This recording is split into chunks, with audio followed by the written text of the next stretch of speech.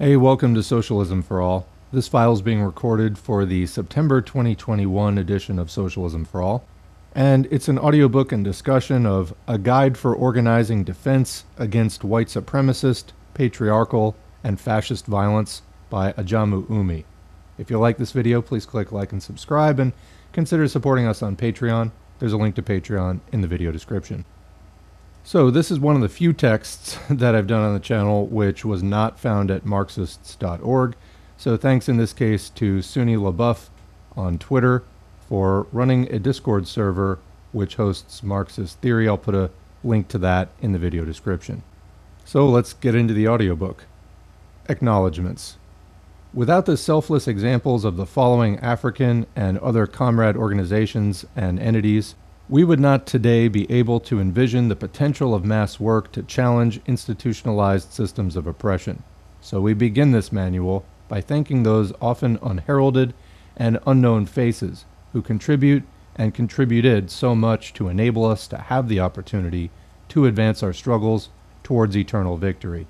This list is certainly incomplete, but it is an attempt to recognize the honest and valuable contributions these bodies have provided that are often either maligned or ignored.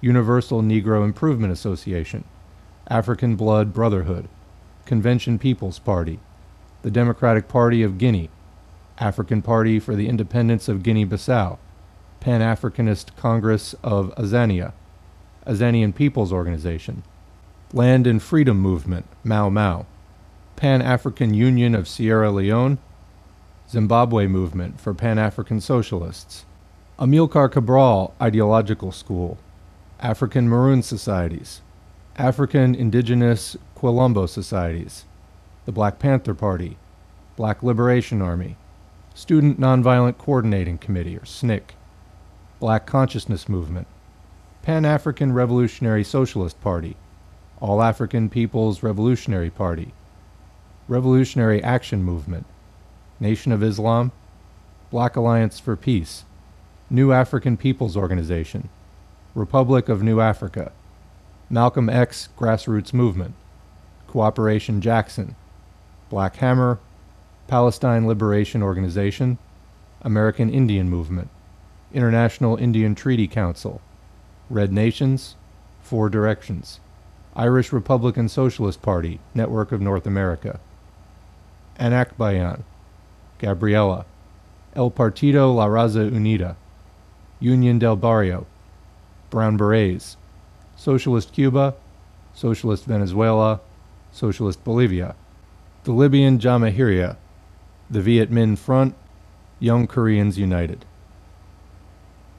Definition of terms Africans, all people of African descent, wherever born or living.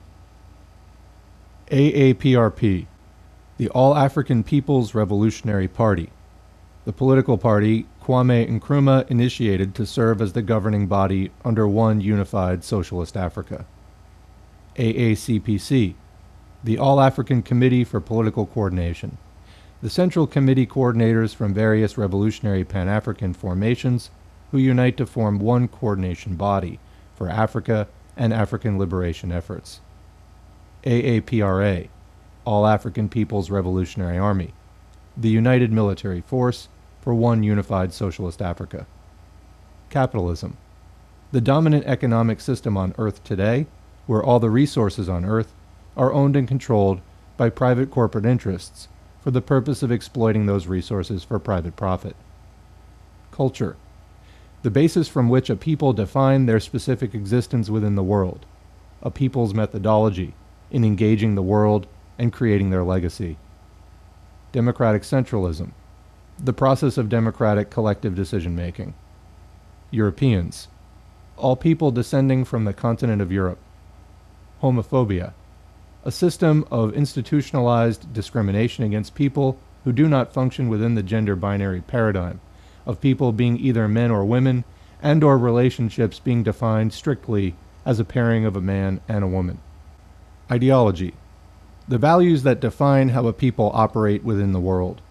Ideology defines how you interpret and interact with society and what interests you pursue in society. Indigenous people, the original inhabitants and their descendants of the Western Hemisphere. Liberation, eliminating oppressive conditions against a people. Pan Africanism, the total liberation and unification of the African continent under one scientific socialist government. Patriarchy, a system of institutionalized discrimination against women identifying persons and all persons who do not function as men in society. Imperialism, the international system where capitalist countries branch out to other countries to control and exploit their natural and human resources. Scientific socialism, an economic system where the world's human and material resources are owned and facilitated by the masses of people to be organized to serve the needs of the masses of humanity. So that's the end of the glossary. And those are how those terms are being used in this book. You know, I'm sure everybody has, you know, their own little definition or, you know, would change this or that, but that's how they're using them in this pamphlet. So, Chapter 1 Introduction The Definition and Objectives of Revolutionary Community Defense Work. Our Revolutionary Pan Africanist Work. This manual is written in the spirit of the African liberation resistance struggle. More specifically, the international Pan Africanist revolutionary struggle articulated through the vision of Kwame Nkrumah in his classic work, The Handbook of Revolutionary Warfare. Nkrumah, understanding the conditions that led to imperialism's destabilization of the Congo in 1960 and 61, the U.S. Central Intelligence Agency's known role in overthrowing his legitimate government in Ghana in 1966, and the neo-colonialist plague that has strangled Africa and African people everywhere, wrote the HORW in 1968 as a guide on how to organize for Pan Africanism against all systems of oppression.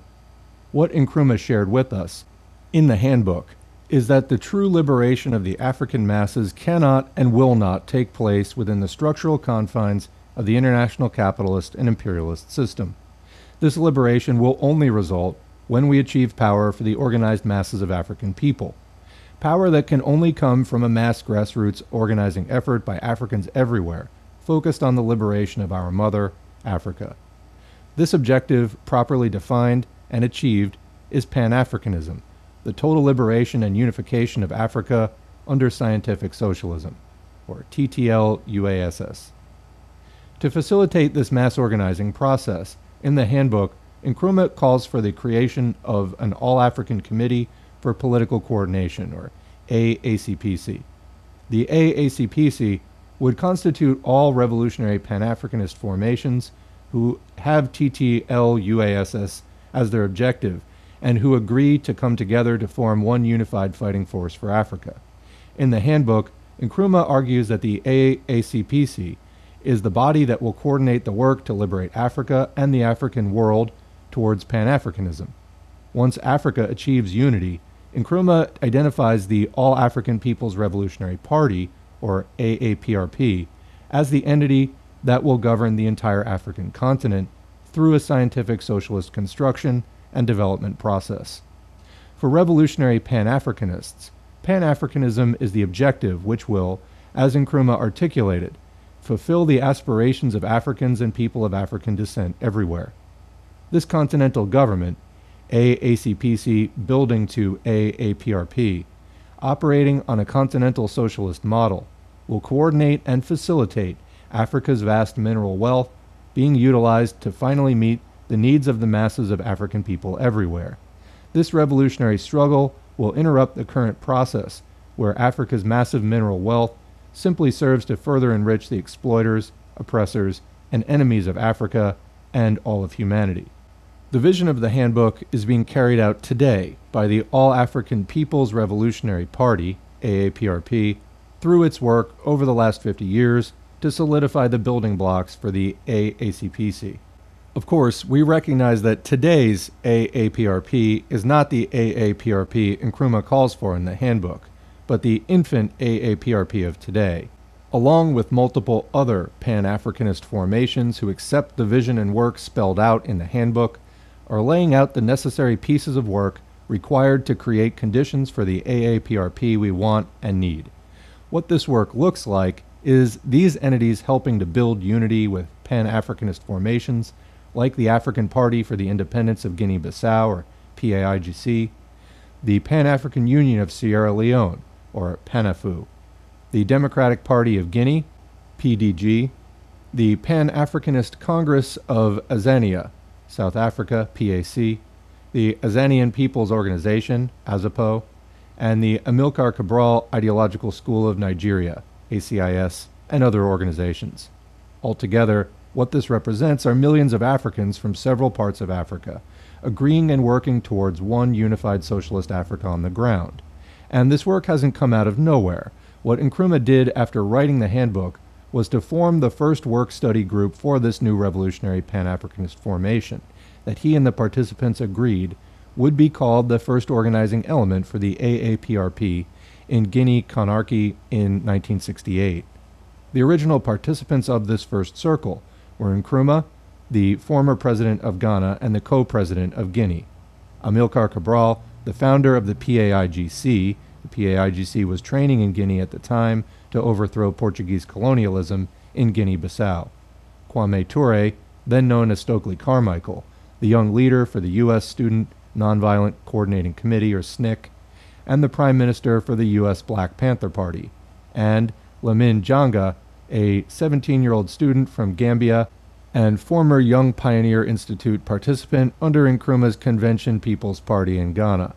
It must also be noted that this initial work was taking place in Guinea Conakry under the protection of the Democratic Party of Guinea and its president, Sekou Touré.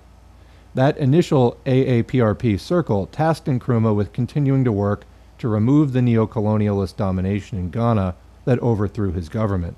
Cabral was tasked with continuing to build PAIGC into a force that would eventually defeat the Portuguese in Guinea-Bissau and the other Portuguese-controlled territories of Angola and Mozambique, while also shaping the PAIGC into the type of revolutionary Pan-African political formation that would help lead within the AACPC, AAPRP. Ture and Janga were tasked with helping build the AAPRP throughout the African diaspora. The PAIGC, along with the Cabral founded Popular Movement for the Liberation of Angola, MPLA, and the Mozambique Liberation Front, Frelimo, effectively ran the Portuguese out of Africa, and the PAIGC today continues to serve as a leading formation in revolutionary Pan African work. AAPRP cadre have been and continue to be developed throughout Europe, the US, the Caribbean, and of course Africa. Ghana remains neo colonialist, but the work in Africa is intensifying to bring those contradictions to a heightened stage. One thing we would argue was not as clearly spelled out within the handbook was what preparation those Africans within the diaspora should carry out to contribute to this work to build the AACPC the AAPRP organizers have done outstanding work building the revolutionary consciousness for Pan Africanism throughout Africa, Europe, Canada, and the Americas. But beyond that ideal of Pan Africanism, we haven't given Africans within the diaspora a clear perspective on what role they will play specifically in the diaspora while the AACPC is being built in Africa. Many AAPRP cadre have taken initiative to address this challenge by creating mechanisms to further support AACPC work on the ground in Africa. This has been done by building and maintaining relationships with new and previously existing potential AACPC organizations, along with ongoing ideological support and material assistance in Ghana, Kenya, Zimbabwe, Azania, South Africa, Guinea Bissau, Guinea, Senegal, Sierra Leone, Tanzania, Kenya, Gambia, etc. Some cadre have physically uprooted from the Western Hemisphere and moved to Africa to play active roles in AACPC and other Pan African unity work on the ground there. All of these efforts are overwhelmingly important and have made major contributions toward the creation of the AACPC and the full manifestation of the AAPRP as the mass revolutionary political party that Nkrumah envisioned when producing the handbook. The Handbook of Revolutionary Warfare and Africans outside of Africa. This manual is designed to speak directly to Africans living within the U.S.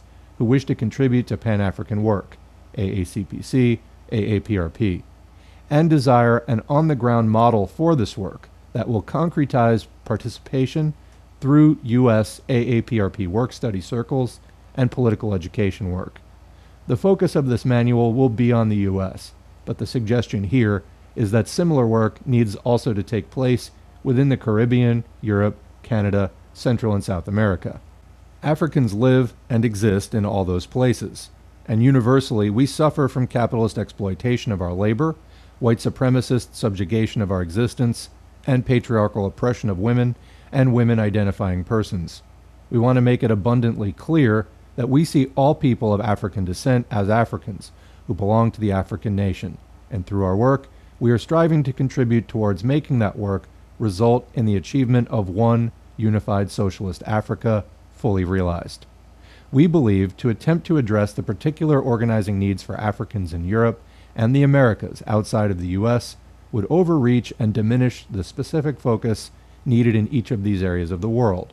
So instead, this manual will focus on Africans within the U.S., and we encourage and support the creation of similar documents to support AACPC, AAPRP work through the handbook in the non US areas of the diaspora to advance upon the contribution this manual attempts to make. The challenge is broad enough just looking at the US, and it's clear that distinct roles in this fight should be carried out by Africans based on the conditions under which they exist.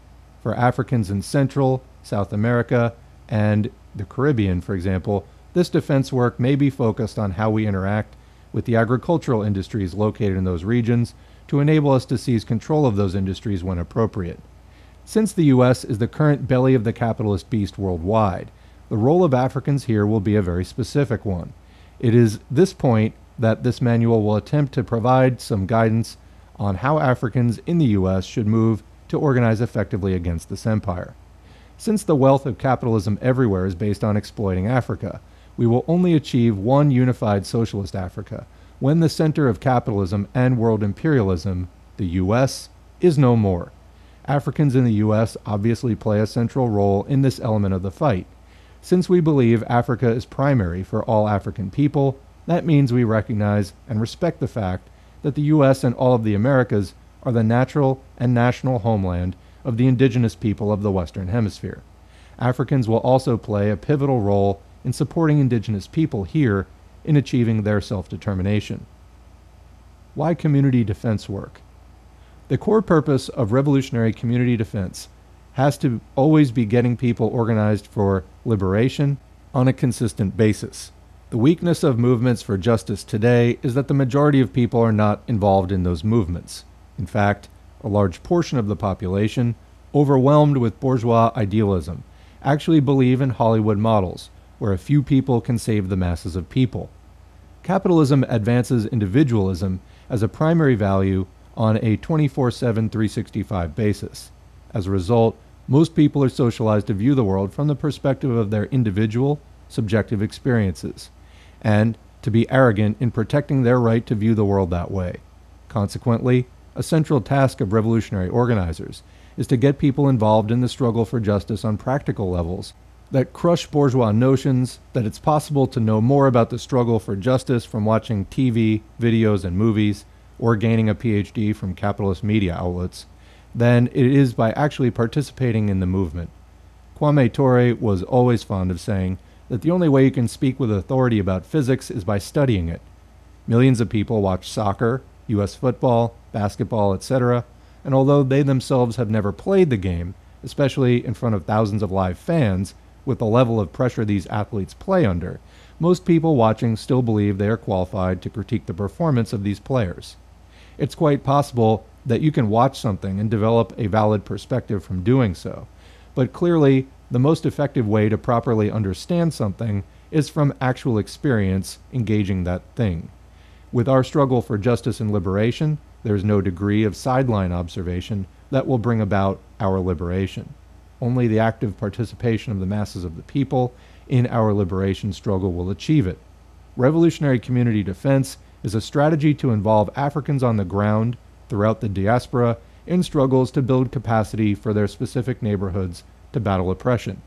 At the same time, this work is providing them with a worldwide revolutionary Pan African consciousness and commitment to see their neighborhood work as part and parcel of the necessary effort to construct the international fighting force that we need to be victorious against the international system that created and maintains our oppression. Europeans who wish to organize for justice. Another purpose of this manual is to address European or white people within the U.S. who understand the system of capitalism must be destroyed. These people cannot be ignored. No war strategist wins by completely dismissing the population that provides the largest resistance to your liberation efforts. Working class Europeans within the U.S. and everywhere else have always served as the shock troops for imperialism. They make up the bulk of the police, military, and prison industrial complexes from capitalist countries that serve to dominate, repress, and oppress African people and all of humanity endlessly.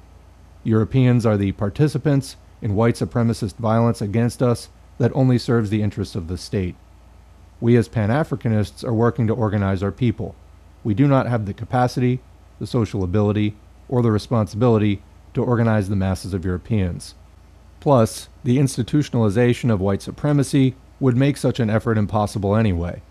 What we can do is provide those Europeans who don't wish to side with capitalism and imperialism with an analysis that they can hopefully customize and utilize to organize their people in ways similar to how we are organizing our people. If Europeans are not organized, our burden is much greater. So, why not share our models with them to help them to organize their people?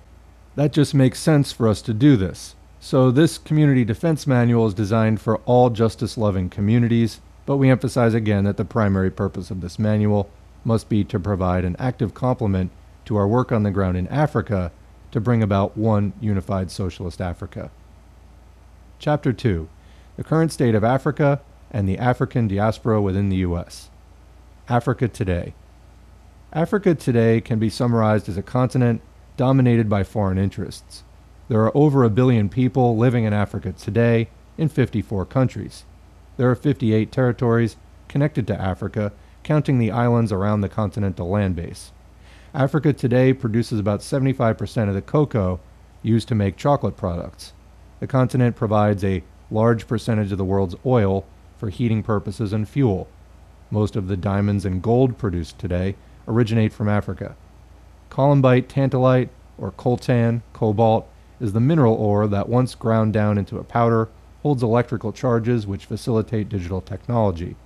Cellular phones, laptop computers, flat screen televisions, pretty much any device that sends and receives a signal to function cannot exist without this mineral ore, and it's only found in plentiful supplies in Central and Southern Africa. It's so valuable that it can sell for almost 600 US dollars per pound. African bauxite, uranium, zinc, flowers, and other raw materials supply most of what is used on the world market in the production of automobiles, nuclear power capacity, aluminum products, and much, much more. What's essential to know about all of this is the vast toll extracting these resources is taking on Africa from the standpoint of the tremendous amount of wealth that is leaving Africa without stopping to benefit everyday Africans, the overwhelming physical toll the work takes on our people, and the devastating environmental consequences from this exploitative process. The result is an Africa that is poor and very unstable because this environment benefits the forces who profit from these conditions. The conflicts that constantly arise in Africa can all be traced to these exploitative industries and the push to ensure imperialism maintains control over these markets. By imperialism, we of course mean the industrial capitalist countries led by the US, Europe, etc. These entities always downplay the importance of Africa, but the levels of resources and people they place in Africa to maintain the current systems of oppression tell us otherwise. The US currently has almost 100 military installations throughout Africa, and not one of them is there to build anything for the people.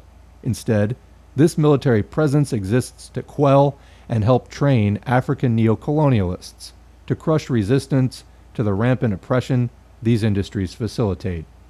This military effort costs billions annually to U.S. taxpayers, most of whom have absolutely no idea it exists.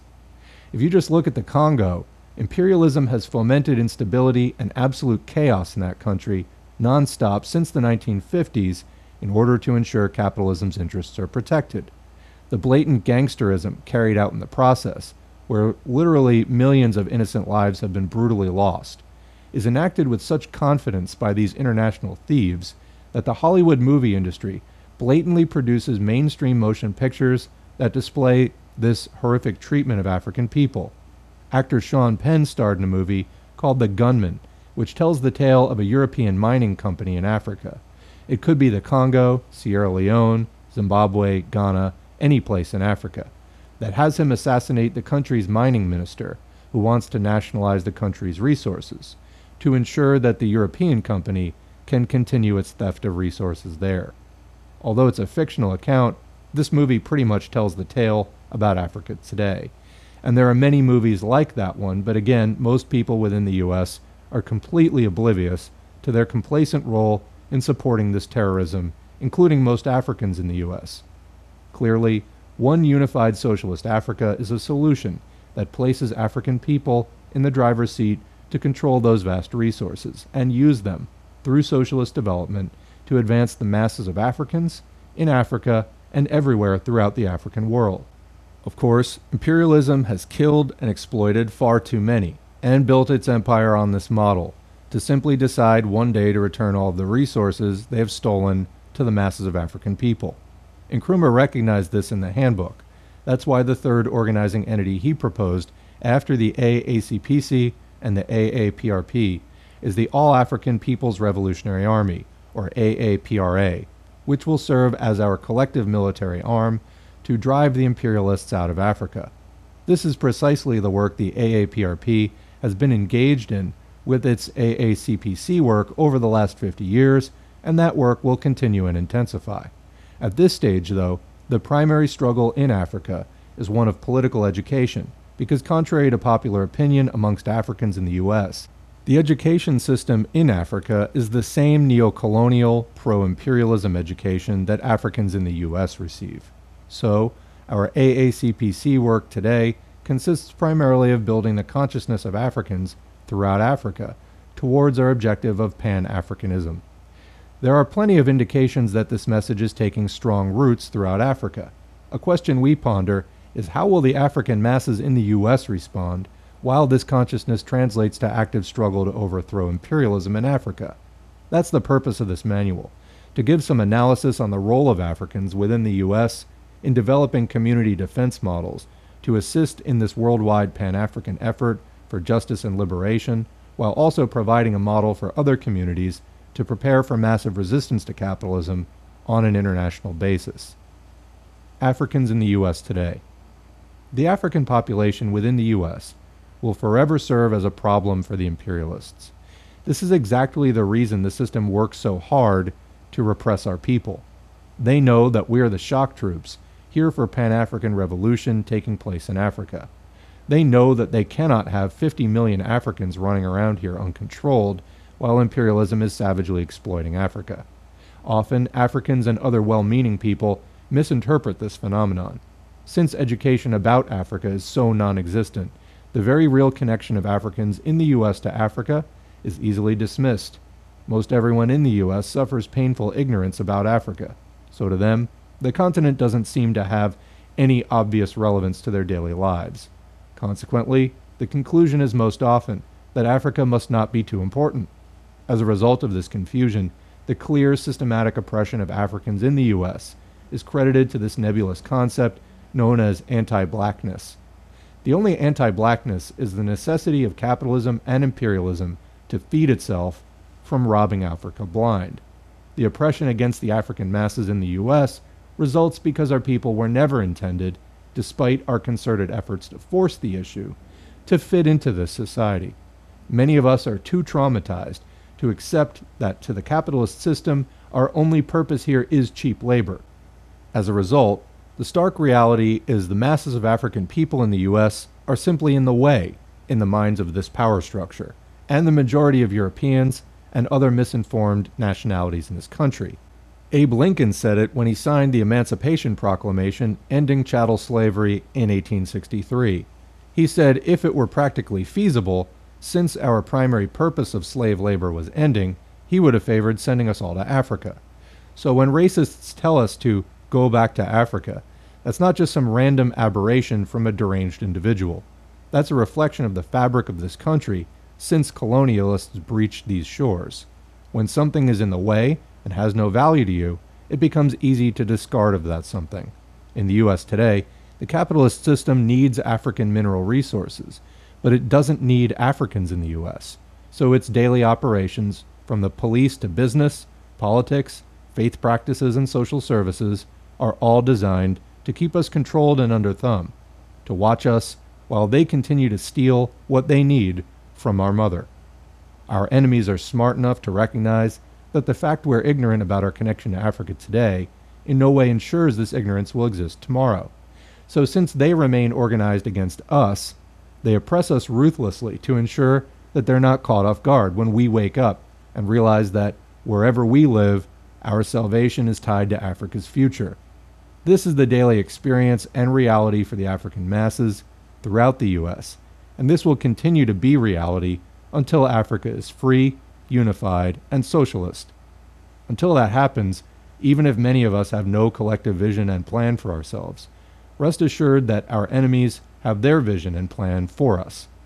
This is why community defense models are so critical to helping our people get prepared for this fight. Most of our people are confused about all of this. Many of us already believe or want to believe that we're Americans. The institutions of imperialism have been set up to spread this confusion amongst our people.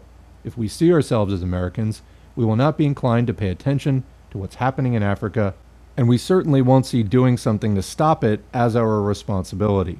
Also, we will continue to see respecting and protecting the U.S. as our responsibility instead of seeing destroying this empire as essential to our freedom. We will believe the propaganda of our enemies that the U.S. is helping Africa with everything that it's doing.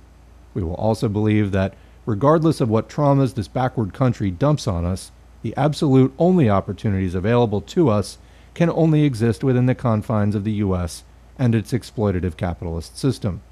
We will believe that anyone who attempts to present an alternative vision outside the realm of U.S. capitalism is insane. The capitalist empire. Further, the other more insidious element of U.S. propaganda on Africans in the U.S.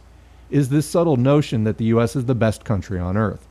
This story advances the lie that the U.S. is the citadel of democracy and that everyone can become rich and prosperous in the U.S. if you just apply enough individual effort. Of course, if you're not successful in this endeavor, which practically everyone is not, then it's simply because you're flawed and not up to the task. For this backward analysis, the contradiction is never the system. The problem here is that imperialism has told us for centuries that this is the wealthiest country because it worked so hard to become that. And all you need to do is join that dedicated workforce, and your dreams too will come true. The truth is that the U.S. is the wealthiest country in the world because it stole free labor and land. It exploited and exploits African resources. The transatlantic slave trade financed the development of the capitalist system. This is irrefutable. The banking and insurance industries only came to fruition from seed money provided by African slave labor, but most Africans, especially those within the U.S., don't know this. Most people overall within the U.S. are oblivious to these historical facts. So most of us believe siding with the U.S. means being on the winning side, and everyone wants to be a winner, so many Africans, mostly well intentioned but overwhelmingly uninformed, buy into this propaganda that we have a stake in the U.S. For example, the belief that we built the U.S. is really code language for we created this wealth, so we're entitled to a piece of it. The reality of how the wealth was gained, as was just stated before, escapes or isn't a priority to many of these Africans, who have consciously made class decisions to side with the enemies of African people in the hopes that doing so will bring them personal financial success. This is important to point out because there are petty bourgeois Africans everywhere who adopt this sellout mentality, and there are even some misdirected Africans within the U.S. who, because of their own dishonest class objectives, choose to paint Africans born outside of the U.S. as Africans who somehow betrayed Africans in the U.S. This analysis, reaped in opportunism and disunity, fails to acknowledge that there are plenty of Africans in the U.S. who sell us out daily. As Malcolm X told us, There have always been house Negroes and field Negroes. This contradiction reflects class struggle among African people, regardless of where we are born and are living. So, much of the basis of these community defense models is to provide ongoing political education to the masses of Africans in the U.S. while initiating concrete work to demonstrate to them that Africans can be independent. And we can work together across colonial borders to solve our problems. We can build communities internationally. And those communities can connect with our own societies, Africa. And our societies can be productive and beneficial to all our people and the rest of humanity, Pan Africanism. Chapter 3 A Case for Organizing Africans Against the Capitalist System. Africans within the U.S. face a multitude of oppressive forces. Police agencies shoot us down in the streets. And if they aren't unjustifiably shooting us, they prey on us to provide cheap labor through mass incarceration and to provide revenue for municipal coffers by disproportionately targeting us for anything that can be construed as a violation. We are ruthlessly discriminated against in job seeking, housing, and even the most casual acts of living life. The schools miseducate our children to believe that all they can hope for in life is acceptance by the white supremacist capitalist system, and most of our adults, already trained in this dysfunctional model, play significant roles in perpetuating this anti African propaganda among our people most of the religious institutions our people participate in, whether Christian, Islam, etc., promote values that are friendly to capitalism and antagonistic to revolution, socialism, and African self determination. The core reason for this oppression is the reliance of imperialism on the continued theft of Africa's vast mineral resources. The results of this level of systemic oppression against the African masses are twofold. 1. We continue to mount consistent and sustained resistance wherever we are on Earth. That resistance is almost always spontaneous and reactive, but still, it happens everywhere. Secondly, we find ourselves on the bottom of every society we inhabit in the world today. This is no accident, but the result of the capitalist system's need to keep us directly under its thumb at all times. Its reliance on our homeland requires it to ensure that we never manage to develop the capacity to confront it successfully. Consequently, our people are constantly propagandized against our interests. We're told all over the world 24 7 in English, Spanish, French, Portuguese, Swahili, and in every other language that we are cursed by God. We are incapable of leading ourselves. Our families are dysfunctional. And every problem we have is the direct result of our incompetence. The truth, of course, is the opposite of this. The level of love and support we as a people have been able to provide to ourselves within the wretched state we're forced to endure is overwhelmingly impressive. All this boils down to the reality that the oppression African people face is a worldwide phenomenon that's powered by the capitalist system, the dominant economic system in the world today. If we understand and accept this, we have to also face the reality that since the problem originated and is maintained on an international level, the problem cannot in any way be addressed on a micro-state basis. In other words, the British, French, and US economies, some of the leading capitalist economies in the world, are built and sustained on exploiting Africa, and those systems maintain their power through brutal oppression of the African masses. The Africans living in Britain, France, and the US, who cannot effectively address the problems they face without figuring out how to take down the worldwide capitalist system which oppresses all of us. We cannot win freedom in Britain alone, or France alone, or the US alone, etc., because all of those economies are based on exploiting our homeland and our people all over the world. So, any so called progress Africans within the US, for example, can make on an individual basis by advancing through the U.S. capitalist system is always going to be based on perpetuating the oppression of Africans in other parts of the world, particularly Africa. So, as attractive as it may appear to some to have the opportunity to integrate into the capitalist system, since that system is based on our exploitation, this alleged integration can only be on a token basis, since any wholesale acceptance of us into the capitalist system would have to compromise its basis of operation. It isn't possible to permit the people your success is based on to have the opportunity to advance within that system on anything beyond a token level, just enough to keep providing unrealistic hopes within that community that they too can break through. So, for any African sincerely dedicated to the emancipation of the African masses, the only true solution must be a worldwide effort of African people uniting to overthrow capitalism. The antithesis of the worldwide capitalist system is a worldwide socialist system. The reason for this is capitalism is an economic system where the means of production are owned and controlled by private enterprise for the purpose of private profit. Socialism is a system where the means of production are owned by the masses of people for collective good. Since capitalism is the system that placed us in this situation while maintaining and depending upon us staying in this condition, no solution to our reality could ever be based on capitalist operation. As Kwame Ture was fond of saying, the question is who will own and control the means of production? The question can only be answered two ways either some will own it or everyone will own it. We select the everyone will own it option, and we embrace that option from an African cultural perspective of achieving socialist revolution. Nothing against Karl Marx, Vladimir Lenin, etc. We appreciate, respect, and admire their contributions. But our solution can only be contained with our revolutionary African personality and cultural context. Our socialist solution is tied to our historical circumstances. It's tied to Africa's liberation.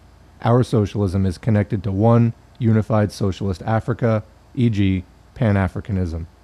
So for us, the question is how do we go about achieving the Pan Africanism we need? Obviously, we're working against the most powerful system in human history. Our collective success is reliant on an unprecedented level of organization among African people everywhere. That requires a collective strategy we must employ to bring about the results we're looking for. Nkrumah, in the handbook, gave us the blueprint for creating the mechanism for African unity focused on Africa being primary. Since the core of our Pan Africanist effort will take place in Africa, the other question is how will we employ the masses of African people across the diaspora in this work? This is where the community defense models come into play. The strategy within the handbook provides the basis for this work in Africa, and the intention of this manual is to provide a complementary model for Africans born within the U.S. In other words, the idea here is the community defense model will complement the work for Pan Africanism in Africa. These combined efforts will strengthen our work all over the world which makes our ability to achieve our objective that much more feasible. Chapter 4 Methodology for Approaching Community Defense Work equals Political Education Structures. The approach to building community defense models within the U.S. is based on providing the African masses in this country with the opportunity to create space for themselves to alleviate some of the worst oppression we face on a daily basis. Meanwhile, we will become able to strengthen our understanding of how this system of oppression works. As a result of that growing consciousness, we will better understand our connection to our people in other parts of the world, especially Africa. This will bring closer into focus the larger vision of what we are fighting for Pan Africanism. Once we have that, we will begin to understand how we can play a pivotal role, as people living within the belly of the beast, in helping apply overwhelming pressure to the system while our people in Africa are fighting. Imagine all of our people making this type of contribution everywhere we are. This system, which seems invincible to many of us today, would instantly come tumbling down to its knees. So, the core to achieving this objective is in basing revolutionary community defense work in political education. What we mean is requiring and ensuring that all community defense work is rooted in an ongoing political education program. This program must contain several essential elements. Political education programmatic structure. 1. Areas of study that contain multiple books on specific topics. A. African history. B.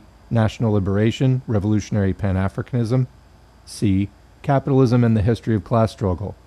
D. Revolution and scientific socialism. E. Patriarchy and the history of women identifying persons. F gender binary. Explaining the justifications behind these revolutionary political education focuses. Why anti capitalist and pro socialist? An anti capitalist foundation for all revolutionary community defense work is essential. The introductory chapters have already reaffirmed the terrorist history of how this country was built on the theft of indigenous lands and the kidnapping of Africans to work for free as property for hundreds of years. The so called Industrial Revolution, which fueled the development of the capitalist system, was financed by the chattel enslavement of the African masses. The tactics of colonialism and slavery were utilized to establish and institutionalize the systems of inequality and oppression that still operate on a dominant level today. Capitalism is the absolute reason that the masses of African people everywhere on earth today are exploited and oppressed. Consequently, there is no way that capitalism in any form, whether of the multinational corporate variety or even through the often recycled black capitalism model, can ever be the solution to any of our problems. Scientific socialism is the antithesis to capitalism. Whereas capitalism was created and is based on exploitation, scientific socialism is based on the collective ownership of the means of production by the masses of people. Scientific socialism provides the mechanisms where Africa's mass mineral wealth can be properly evaluated, based not on the degree of profits those resources can provide the capitalists, but based solely on how we can plan to utilize those resources to wipe out poverty and suffering among the African masses using collective organization to achieve those objectives. Just a quick comment there. I think that this pamphlet is great and is written in a very clear way. If anyone's not clear on the means of production, this is a Marxist term, which basically means industrial property, uh, workplaces, factories, anything that is used to produce goods and services, the means of production. So we have two things the mode of production that is basically the system of property relations and property rights and law that surrounds who owns and controls the means of production. So, feudalism was a mode of production, capitalism is a mode of production, socialism is a mode of production, communism is a theorized mode of production that comes after socialism has had its victories against capitalism and we've completely wiped out empire across the planet, most likely. Um, but yeah, means of production, that's really any kind of productive property. Not your toothbrush, not your sneakers, not personal property, but uh, the means by which things are produced, the means of production. Okay.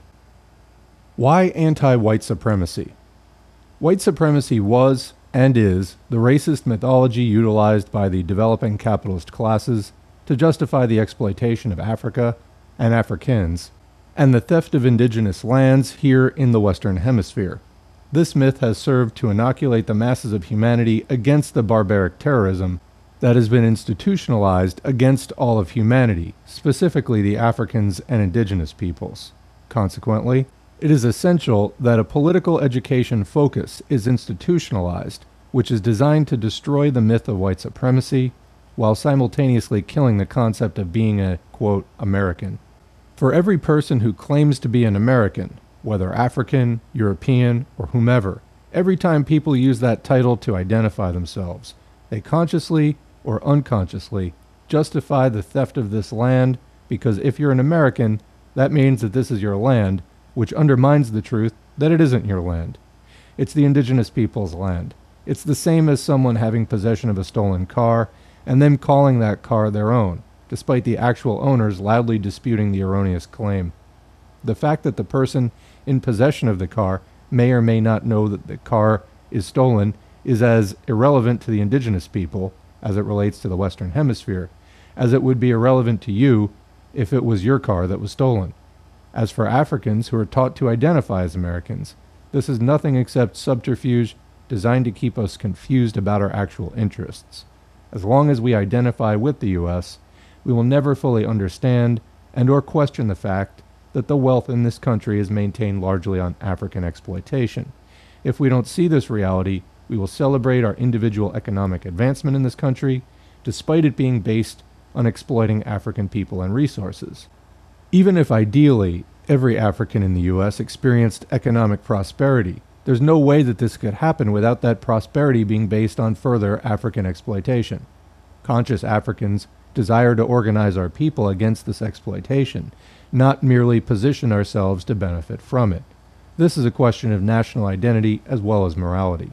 So, American identity equals white supremacy, and anyone who doesn't clearly acknowledge that is perpetuating white supremacy. That's why a concrete analysis on this question is unquestionably essential. Why anti patriarchal? This is a question that raises much struggle among African people today. Contrary to what many people believe, patriarchy predates colonialism and capitalism. Patriarchy as an institution has been in Africa for thousands of years. As a result, many patriarchal institutions in Africa are often mistaken as African cultural components. Polygamy is an example here. Sekou Touré's definitive work, entitled The History of Class Struggle, illustrates how patriarchy as an institution developed in Africa due to the evolution from communalism to slavery to feudalism. Since agriculture during this period was the dominant industry on earth, women were seen as production units due to their ability to produce children who would grow to be agricultural workers. A child producing human can have only a maximum of a few children at once, whereas a man can produce as many children as he has partners capable of bearing children. Consequently, the institution of polygamy was solidified in Africa, and the evidence is overwhelming, indicating the stress and pressure the institution of polygamy takes on African women. But the proponents of this practice will never attempt to entertain this reality. Despite the constant efforts by primarily, but not exclusively, men to justify patriarchy, what is irrefutable is that the voices who should without question be the guiding sources on the issue are often the most ignored. For example, no African women's organization in Africa, i.e., the women's wing of the MPLA, the Organization of Angolan Women, OMA, the women's wing of the PAIGC, the General Union of Guinea Bissau Women, UDEMU, etc., has a position supporting patriarchy. In fact, these organizations have long and militant histories fighting against patriarchal practices and even forcing their entire countries to move against those practices. Patriarchy is an institution which has completely infiltrated all faith theologies, educational curriculums, and every facet of society today, yet none of that changes the reality that it's an institution of oppression against women identifying people. So any process designed to liberate humanity must take an anti patriarchal position. Why anti homophobic? This question is related to the patriarchal one because homophobia evolves out of patriarchal beliefs and practices. Without question, most of the homophobic talking points expressed by Africans everywhere on earth today are textbook prepared and provided to us by unquestionable enemies of African humanity. Organizations like Samaritan's Purse, a right wing evangelical organization with a multi million dollar annual budget, led by Franklin Graham, that white supremacist evangelist son of white supremacist evangelist Billy Graham, is the force behind much of the homophobia being projected throughout Africa today and in African communities in the U.S. and other parts of the diaspora. The strange part about all of this is that proponents of this backward thinking preach African unity, but they apparently don't have the political sophistication to recognize that any unity based on excluding any element of your people is a false unity doomed to failure. Clearly, the moment we accept any isolation of any of our people, is the moment we open the door to any wedge between our unity. We either believe in unity or we do not. For those of us who genuinely believe in unity, we understand that unity by definition means that we learn to accept those among us who may be different for the larger objective of liberation for the masses of African people. Today, there are ample sources of sophisticated political education that destroys the misinformation that the LGBTQ community is foreign to African culture. Whether people wish to acknowledge it or not, qualified research confirms that LGBTQ people have been around in Africa for thousands of years. In fact, there are African languages that do not even have words like he or she. The long held argument that animals have no LGBTQ tendencies has long ago been discredited. The only thing left is political education around this history and the need for real, genuine unity among the African masses, no matter where we're from, where we live, what language we speak, what religion we practice or don't practice, or whether we are men, women, or non binary. Bringing people together is always going to be a challenge, but the benefits will outweigh the arguments for staying disunited. This is why a strong and uncompromising anti homophobic position is essential. organizing the reading for the Community Defense Project's political education program. Care should be taken to ensure the material selected to read represents the ideas of revolutionary ideologues with progressive positions on the focuses identified. Some suggested authors are Kwame Nkrumah, Sekou Toure, Amilcar Cabral, Assata Shakur, Walter Rodney, Oyeronke Oyewumi, Frantz Fanon or Fanon, Steve Biko, Audre Lorde, Angela Davis, Malcolm X, Marcus Garvey, Mangaliso Sobukwe, Daniel Walther, Butch Lee, Amy Garvey, Bell Hooks, Fidel Castro, Stephanie Urdang, Ernesto Che Guevara, Karl Marx, Vladimir Lenin, Rosa Luxemburg, Mao Zedong, Kim Il sung, Ho Chi Minh, Lê Duẩn, Muammar Gaddafi. 2. The structure of the study groups should be a standard number of pages read each week. For example, if the group meets weekly, 35 pages a week should be read. This breaks down to 5 pages per day. If people fail to meet this objective, a process, criticism, self criticism, should be utilized to address this issue. More on this shortly. 3. Facilitating each meeting should be done on a rotating basis for everyone participating in the group. Requirements for facilitating each meeting should be the person assigned each time being required to come up with questions on that reading that are disseminated before each meeting. The rotation can be established utilizing alphabetical order. The logic behind everyone facilitating is to ensure everyone's analytical skills are being developed through this process. If everyone has to focus on the reading in the way required to come up with questions, this ensures that everyone is learning how to navigate through the material. Plus, this approach reduces the dominance of individuals, which is essential since community defense is a collective process. In essence, the connection between the political education process and community defense work is demonstrated through the example of using police terrorism against African people. If the focus of the Community Defense Project is to organize the African community against police terrorism, a complete and analytical perspective and understanding of the history of policing in capitalist societies is required. Also, a clear understanding of the history of capitalist development, white supremacy, patriarchy, etc., are all necessary in order to understand the underlying contradictions with policing within capitalist societies. 4. Criticism and self criticism are an essential part of this study process. This revolutionary tool was developed largely by revolutionary parties, like the aforementioned Sekou Toure led Democratic Party of Guinea. The purpose of this tool is to provide a method for participants to create a collective culture to address failures and contradictions.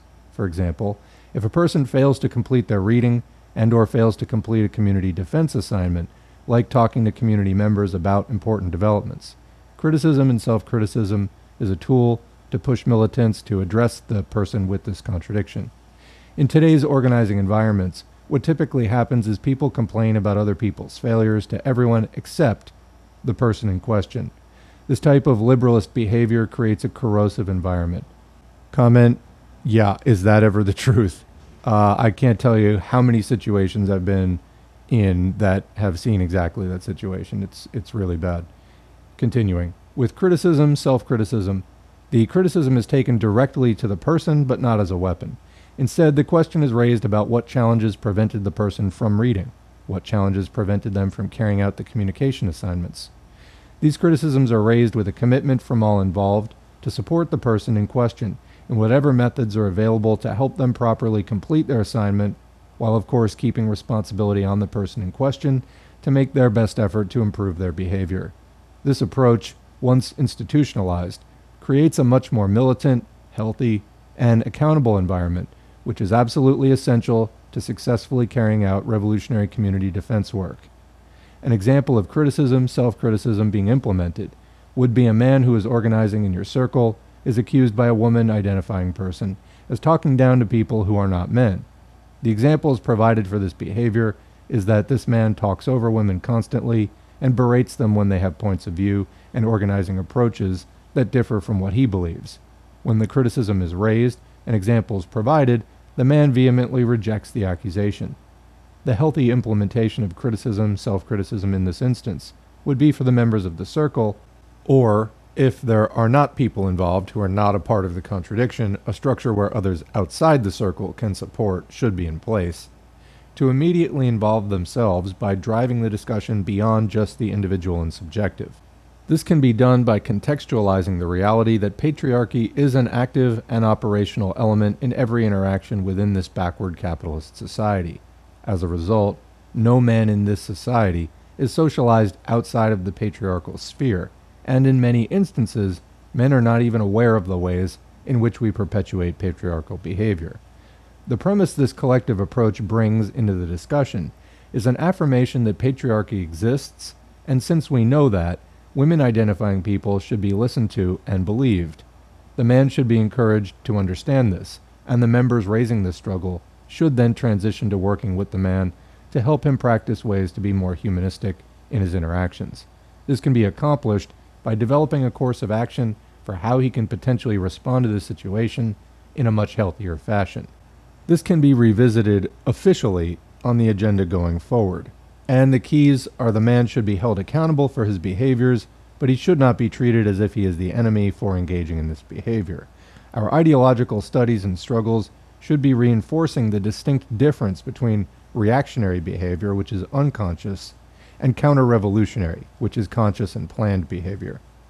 Or, as Mao Zedong put it, we desire to cure the sickness and keep the patient. All of these elements play directly into the criticism self criticism process. If implemented using this approach, the best option is the man in question works through the established process of accountability and support to improve his behavior. The worse option is that the man refuses to cooperate and leaves.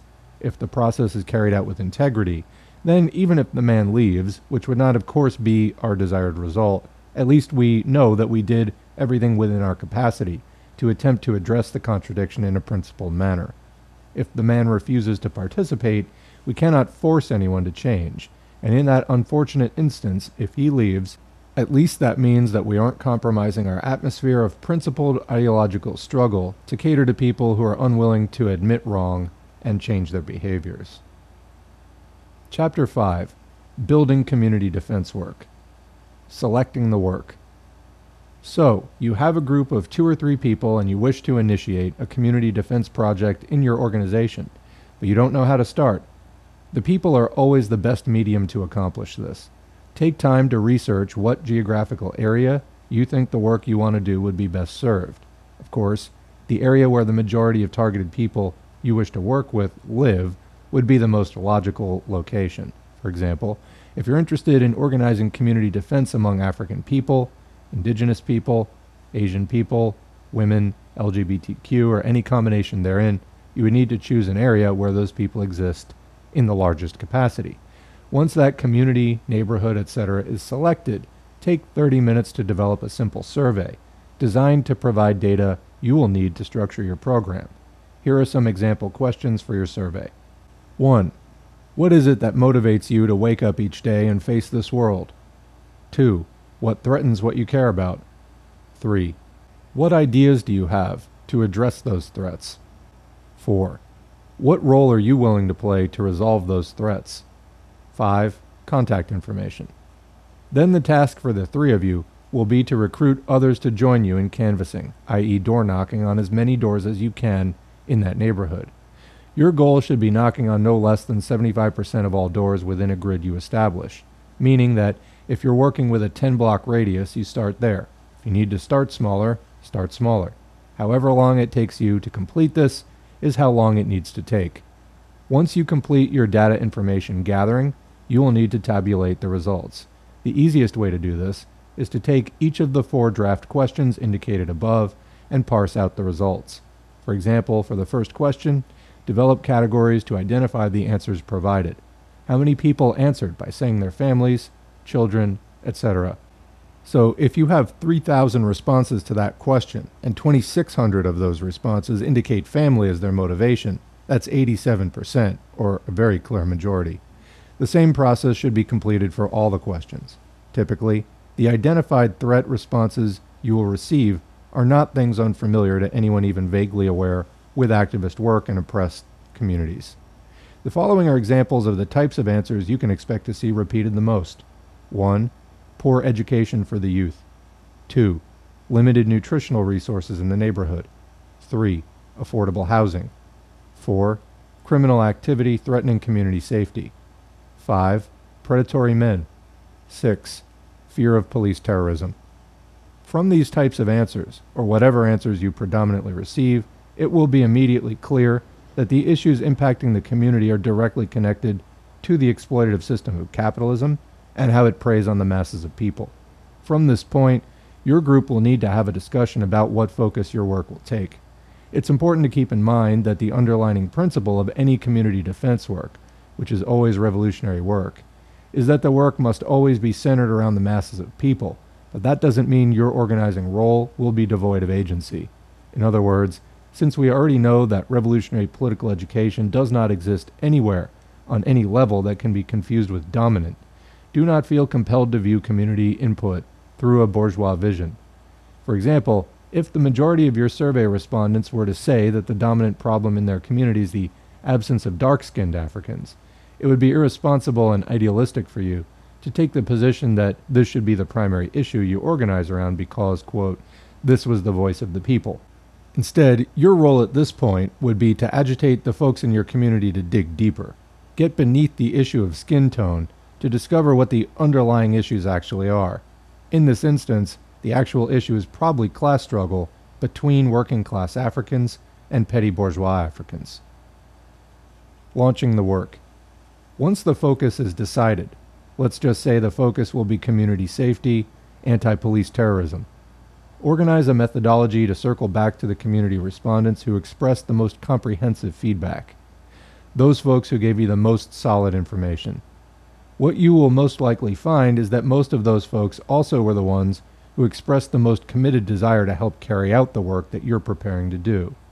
When you circle back to those respondents, what you are seeking to further refine is what ideas those folks have for how the community would be safer Help them by framing the questions in the context of how they would empower themselves to solve the problems, instead of a focus on the capitalist institutions of this society as the problem solvers.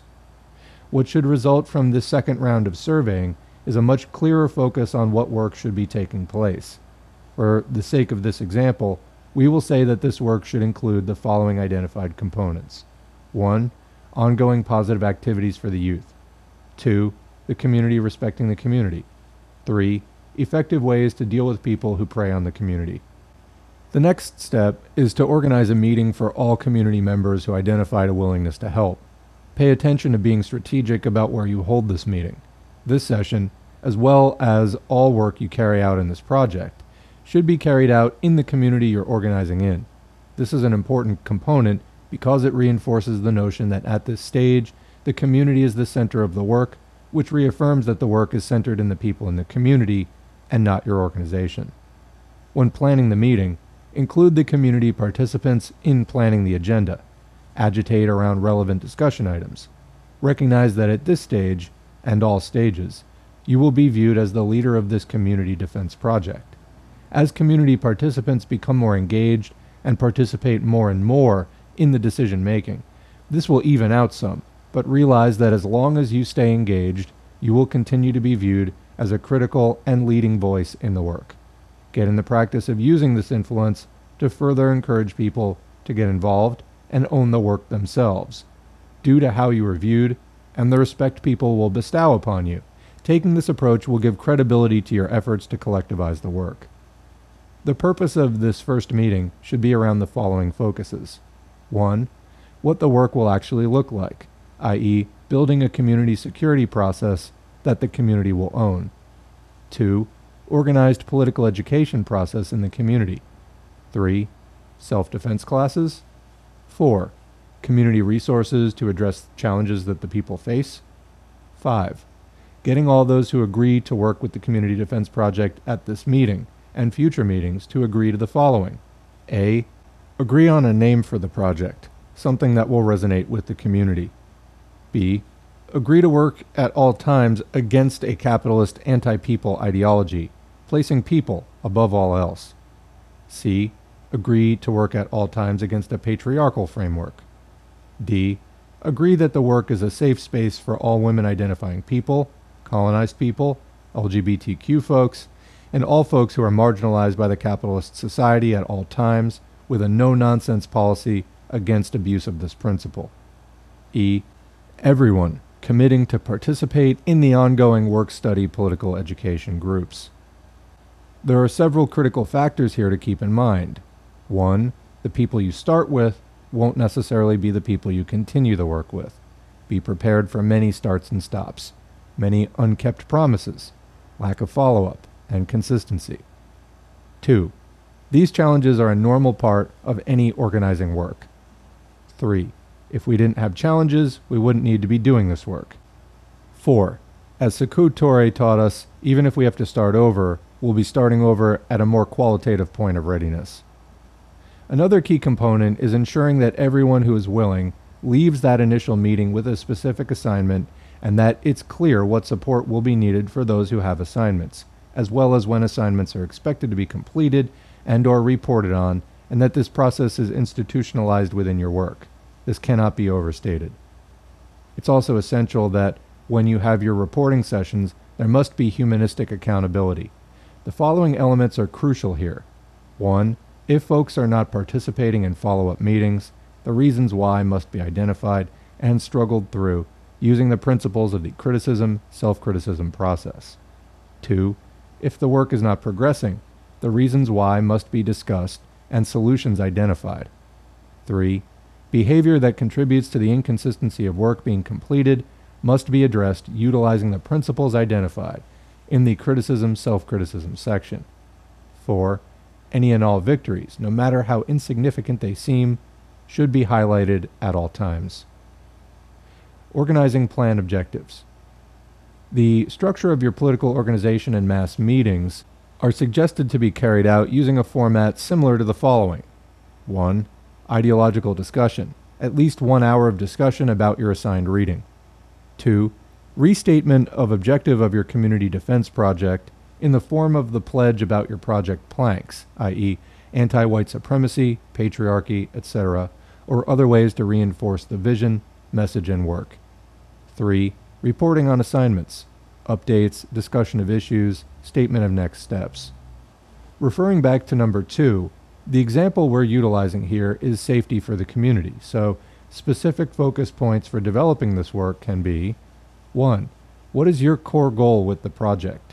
An example can be to push the community to recognize the following components A. African people all over the world can and will organize wherever they are to create mechanisms that can serve our people against any and all enemies, and that in doing so, we are connected internationally and will act as one. B. As a part of number one, we do not ever need to rely upon and call police agencies of any kind. In fact, we affirm that police and military institutions are instruments of the forces oppressing us. 2. What will be the core tenets for your project? A. Political education throughout the community by virtue of study groups of 3 to 13 people everywhere. B. Mass conflict de escalation trainings offered on a continuous basis. 3. Mass beginning self defense trainings focused specifically on women identifying persons, offered on a continuous basis. E. Mass organizing 101 trainings offered on a continuous basis, designed to train the community on how to interact and engage with one another in a positive and productive manner, especially in areas connected to carrying out the skills being trained, self defense, etc. F. Embrace everyone in the community who wishes to become a positive member in the community and is willing to do whatever work is required to grow in that capacity. G. A no tolerance policy for people who engage in activities designed to prey on the community sex trafficking, sexual assault, domestic violence, drug dealing, other violence against the community.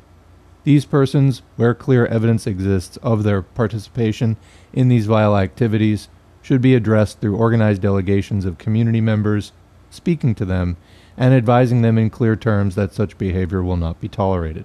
Of course, a level of organization of the project must exist before this capacity is possible. Resources needed. Backing up to the research portion of the project development, a major portion of this research should be focused on what will be needed to carry out this work. Here is a partial list of some of the standard resources that will be required. 1. A physical location to have consistent interactions. A small hall with floor space would work best, especially if there are chairs and tables available. A large apartment complex recreation room sometimes fits this purpose. Amazingly, these venues are often available free of charge. Often, housing units in the middle of the chaos are desperate for solutions. They understand that the institutions of the capitalist system are not going to solve these social issues. So simply approaching them and explaining your purpose is often more than enough for many of them to enthusiastically offer their services. But any location that provides enough space, a room for at least 50 participants, will do. Actually, an apartment complex with 100 to 500 residents can be an ideal location to start a project.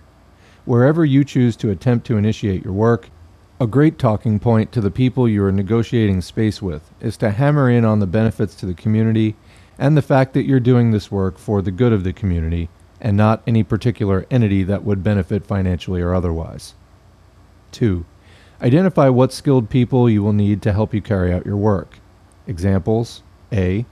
Licensed counselors and therapists who agree to treat people from your project area free of charge.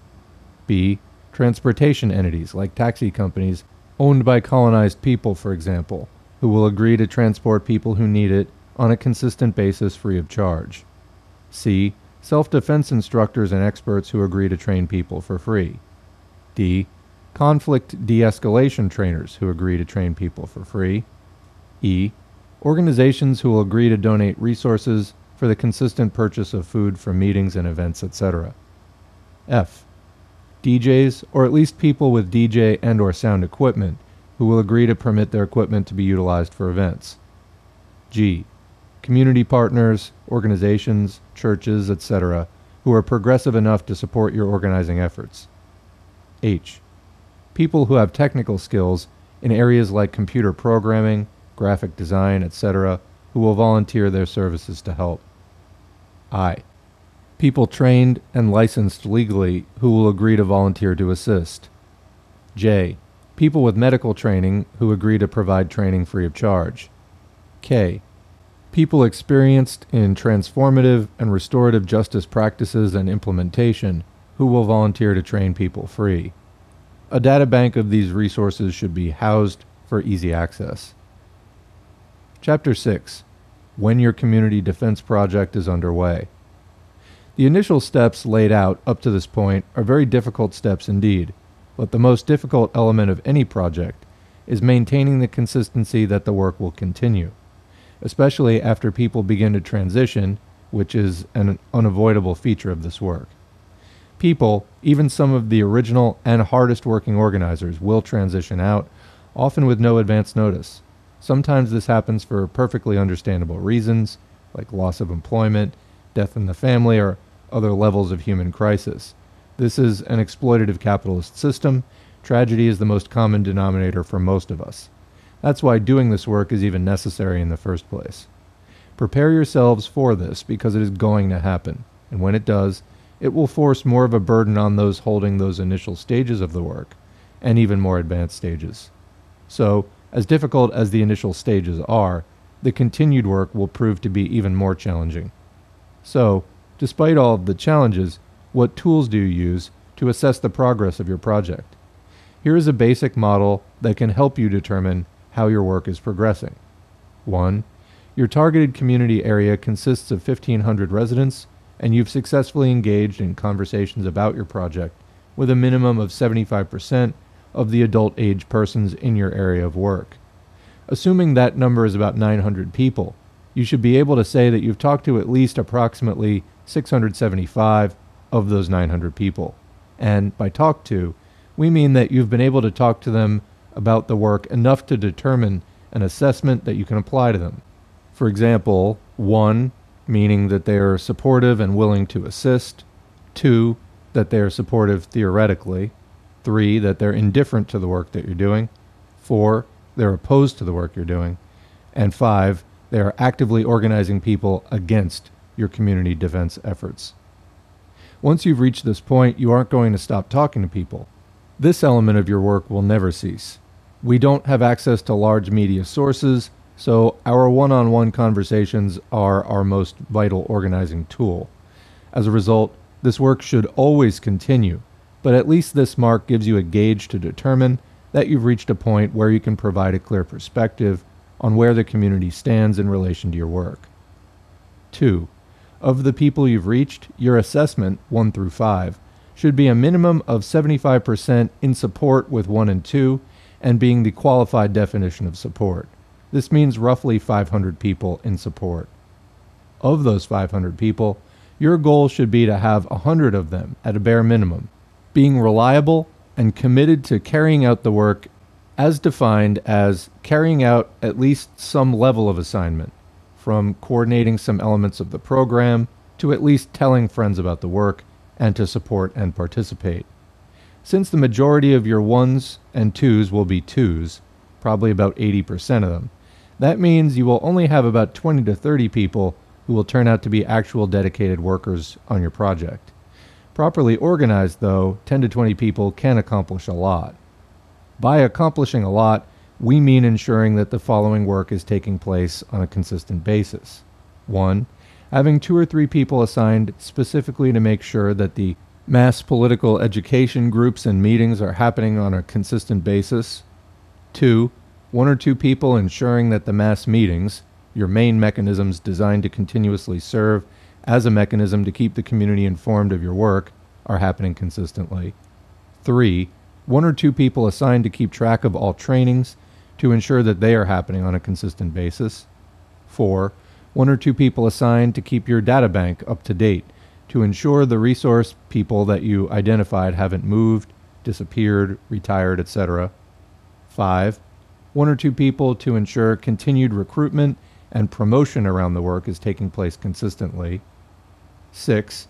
A team of coordination persons who will organize community led teams to confront and address problematic people functioning within the community. From these crucial tasks, we've identified 11 to 15 people, with 15 committed and dedicated people, with two or three more to help conduct overall communication. The work can be effectively coordinated and carried out by this handful of people, 15 to 20. Measuring progress.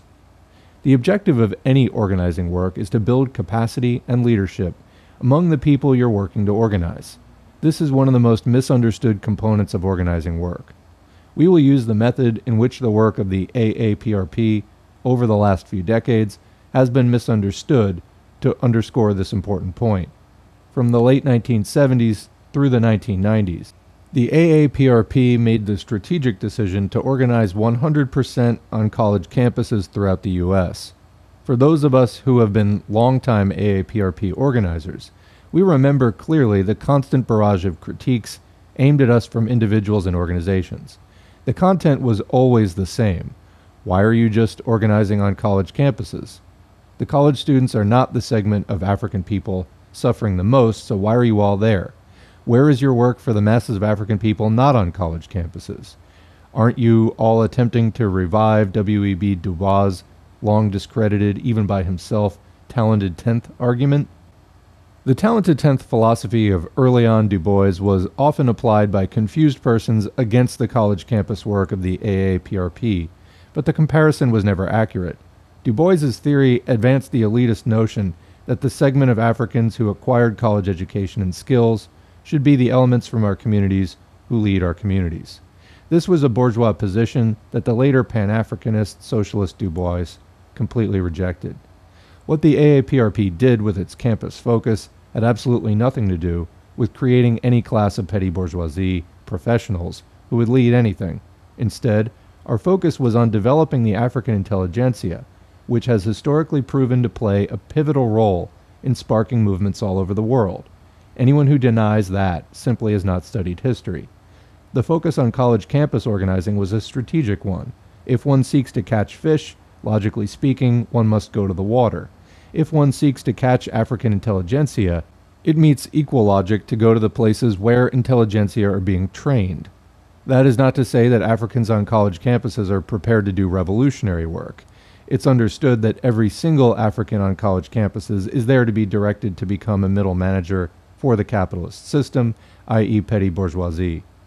Our work on the college campus, of which I am a product, was to push the college students to denounce the petty bourgeois track and instead commit to using their skills and education to spark the masses towards revolutionary Pan Africanist organizing work.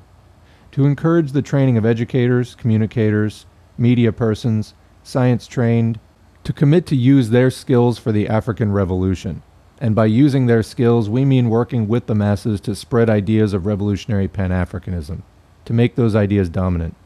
Despite this being completely ignored by the critics, nowhere in any AAPRP literature or practice were these students promoted as the leaders of anything.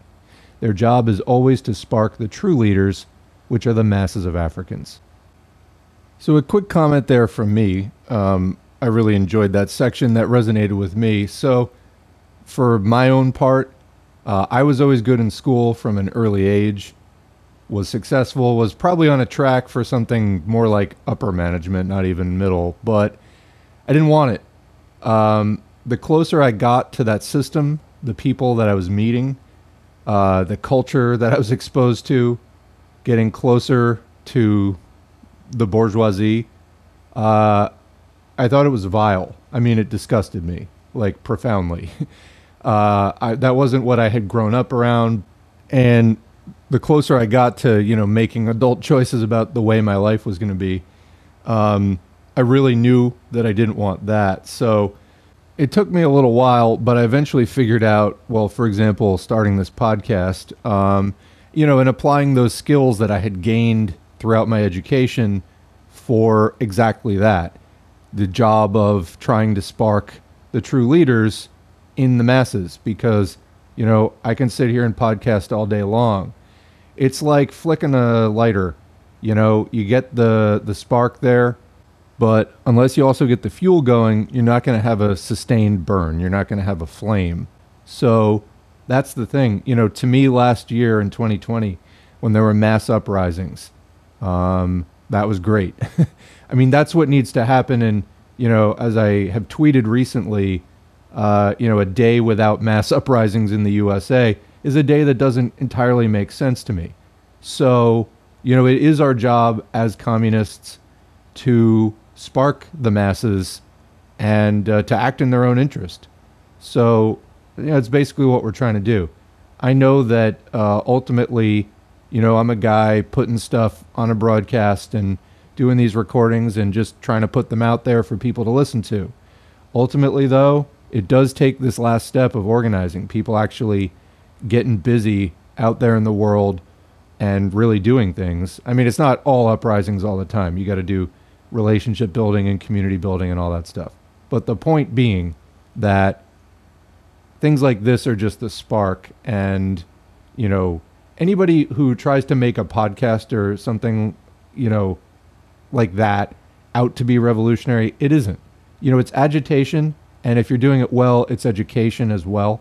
But the organization that's something that happens separately. And a lot of times you know because of our culture of celebrity media worship people can get really wrapped up in whether it's a musician who has radical politics or an artist or a writer or you know a comedian entertainer something people oftentimes think that you know following that person and listening to their work is like the end of it no it's literally the beginning it's just the spark anyway let's continue this is an important point because true organizing work especially revolutionary organizing work, is about building leaders within the communities.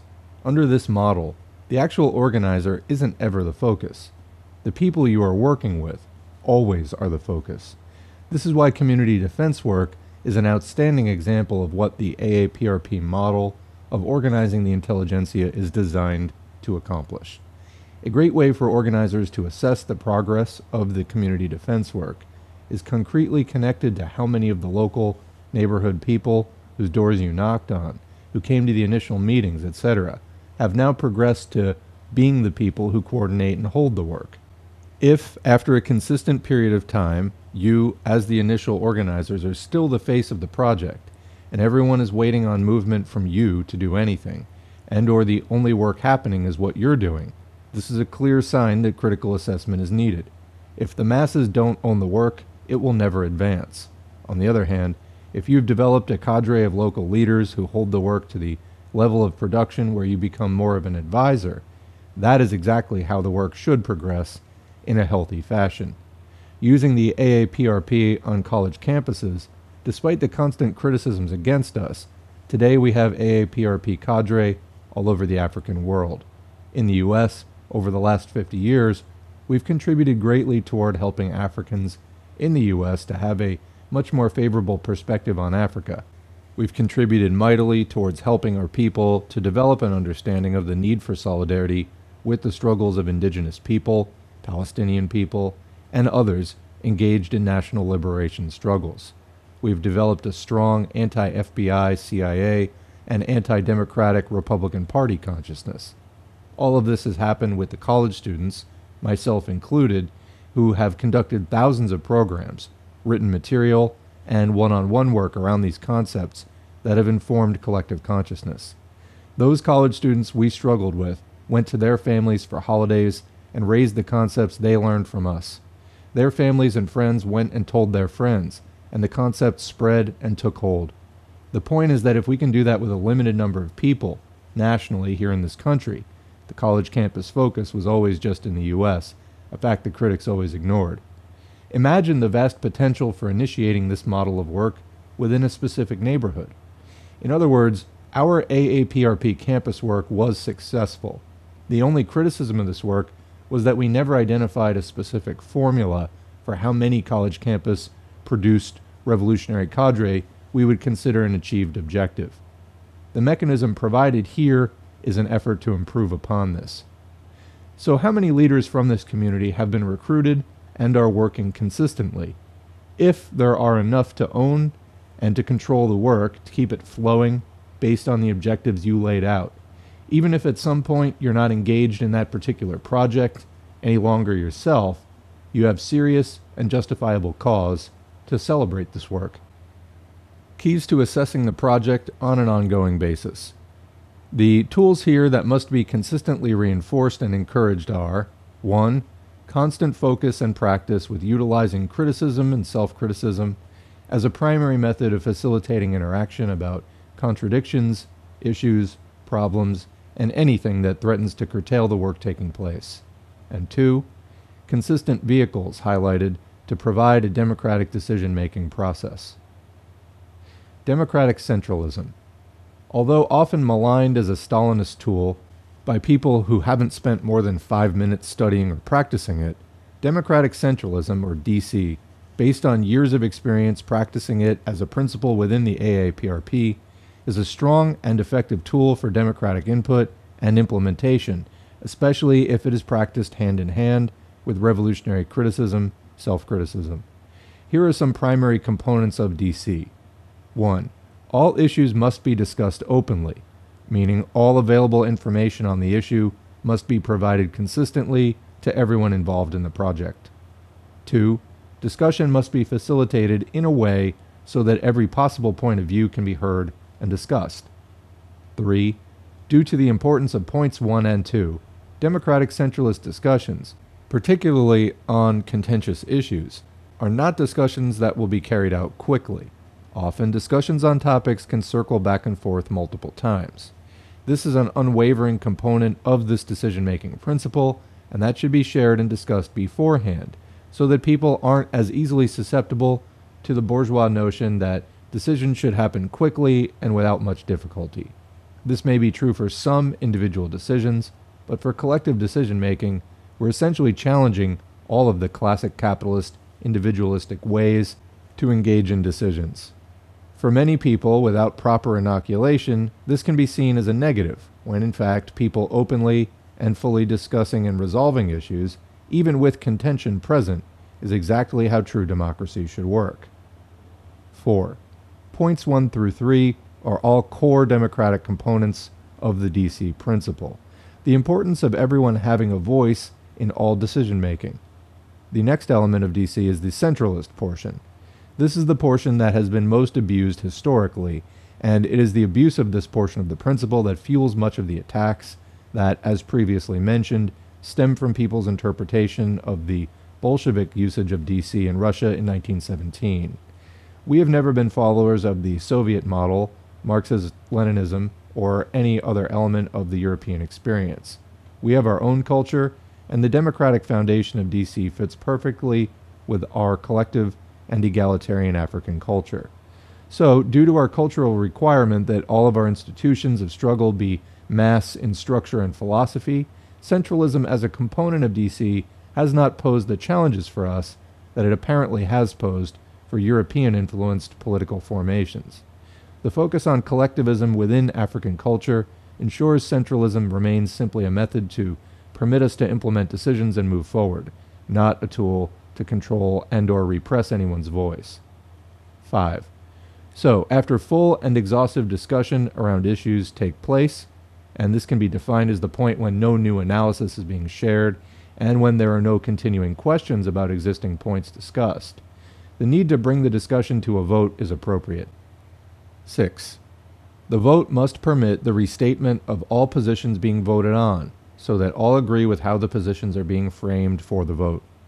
7. The vote must carry a minimum of 51% to carry, and that number does not include those who choose to abstain from voting. In other words, if there are 10 people participating in the discussion, and during the vote, three vote yes, one votes no, and six abstain, technically the vote carries. Groups usually will struggle around continuing to develop the discussion so that at least a clear majority ends up voting in favor or against, but that is how the process should work. 8. Regardless of how the 51% is achieved either way, an extremely critical part of DC is that whomever voted in a way that does not reflect the way the vote carries has a complete responsibility to work as hard as they possibly can to carry out the vote, regardless of the fact that it went against their individual position. People who find adhering to this difficult are actually saying that they don't believe in democracy unless democracy decides the way they want it to decide. The bottom line regarding democratic centralism is that when carried out with integrity, it provides a fair and democratic method along an institutional process designed to ensure decisions are made and carried out through the same democratic principles that guided the discussion and the vote around the issues. Follow up as a general practice is essential for all aspects of the work to continue. Having regular meetings and check ins where views can be shared and issues worked out cannot be overstated. Having these tools in place is key to keeping the work fresh and ongoing in a healthy fashion. Who gets to do the work? A common practice in today's activist circles throughout the U.S. is a well intentioned but misdirected practice of security culture. In these environments, extensive focus is placed on ensuring people don't bring cell phones into meetings, and that people who are invited to meetings to do the work are required to pass some sort of test to demonstrate that they're worthy of the trust of the existing participants. The purpose of these practices is understood, but no one engaging in these practices can demonstrate how doing these things has made their process any safer. Quick comment there from me. Um, I have heard on the cell phone issue that there was a meeting of activists, and I can't remember what the demonstration was now, but uh, they made a point. It was like they had planned a number of demonstrations and the cops were there ahead of them every time and they couldn't figure out what was going on because everybody was trusted. And then they did have a meeting another planning meeting where nobody brought cell phones and it was the first one that the cops weren't there ahead of them so you tell me assuming that that story is true and i have no real reason to think that it wasn't uh, that may actually be an issue so we'll see where this goes okay None of these groups have found the magic wand to eliminate sexual assault in movement work, snitching to the police, abuse towards members of the community, etc., by doing any of these things. So, again, yeah, it's not a magic wand, but cell phones have been demonstrated many times to be surveillance devices, so definitely be aware of that. On the other hand, things like sexual assault and movement work. Let me say here, I don't know if I've said it before, but I'll say it again the movement is not a place to meet dates. There's a ton of people on social media in particular who blur this line a lot. Don't do this. Just don't do it. Don't look for dates in the movement. And if you see somebody who, partic- usually this is men, of course, uh, who is, you know, repeatedly going from woman to woman, participating in this whatever your movement is, and they're, you know, romantically interested over and over.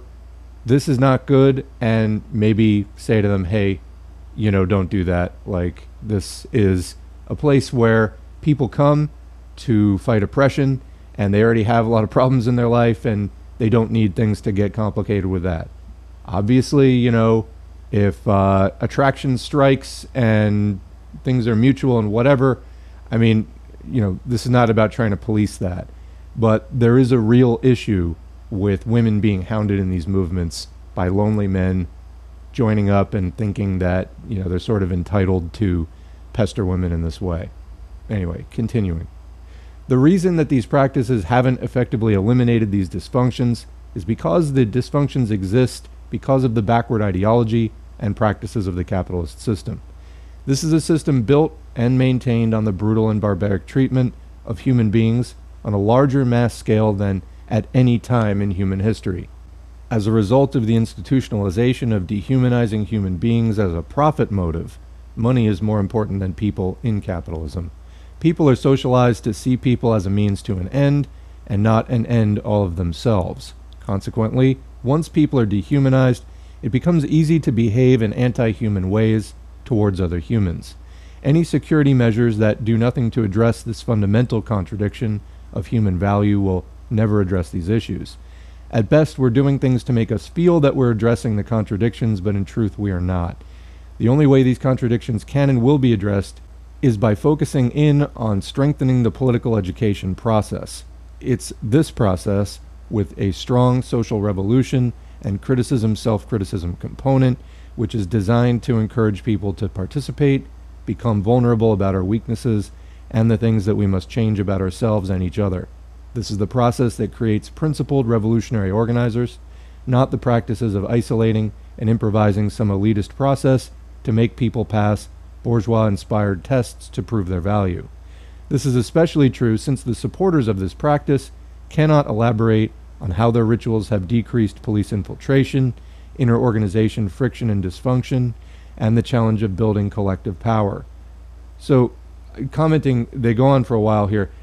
I would challenge this notion that they have done nothing to protect that. Um, and this is actually inspiring me to do another article in the near future about ways to identify infiltration and things like that because it is an issue once you build an organization. The cops get inside of almost everything. So keeping an eye on that is really important, actually. Um, I think that they're really being overly dismissive of any kind of security practice. So that is not sitting that well with me. Anyway, continuing. I mean, yeah, you can increase education and whatever, but if you have an informer in your organization, uh, all the political education in the world isn't going to protect you from that person. So I'm just not entirely sure uh, what the issue is here, but let's see what they go on to say. These practices do nothing Okay, again, strong language to contribute towards any of these objectives because these problems exist because of the inhuman foundation of the capitalist system that produces all of us. Until we focus our tactics on practices that address our humanity and dignity as human beings, the problems will continue to plague us.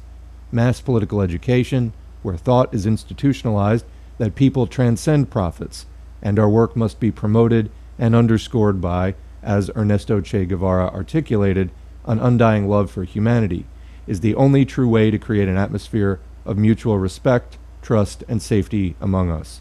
For us as revolutionary Pan Africanists, we employ the logic articulated by the Fifth Pan African Congress in 1945. The solution for the African masses is mass organization. This means we are fighting to recruit every African into our Pan African work. This leaves absolutely no room for elitist practices that will never fit within any mass organizing efforts. All of the organizing mechanisms that we have talked about in this manual are 1. Mass organized political education, 2. criticism and self criticism as a tool of addressing contradictions. Three, democratic centralism as a tool for democratic input and decision making. All of these tools, if taken seriously and used consistently, will create the new and principled revolutionaries that Kwame Nkrumah talked about. And we will do it this way, utilizing principles of humanity, dignity, and respect, while disposing of all the practices based in anti human, non trusting behavior. We believe that every human being has the ability to transform from reactionary to revolutionary. And with the right day to day practices engaged, we can see the results of this transformation in millions of people. So that's the end of that section. And I just want to comment again I appreciate their perspective that, you know, being on the whole more trusting than not is important and is maybe being overlooked right now, etc.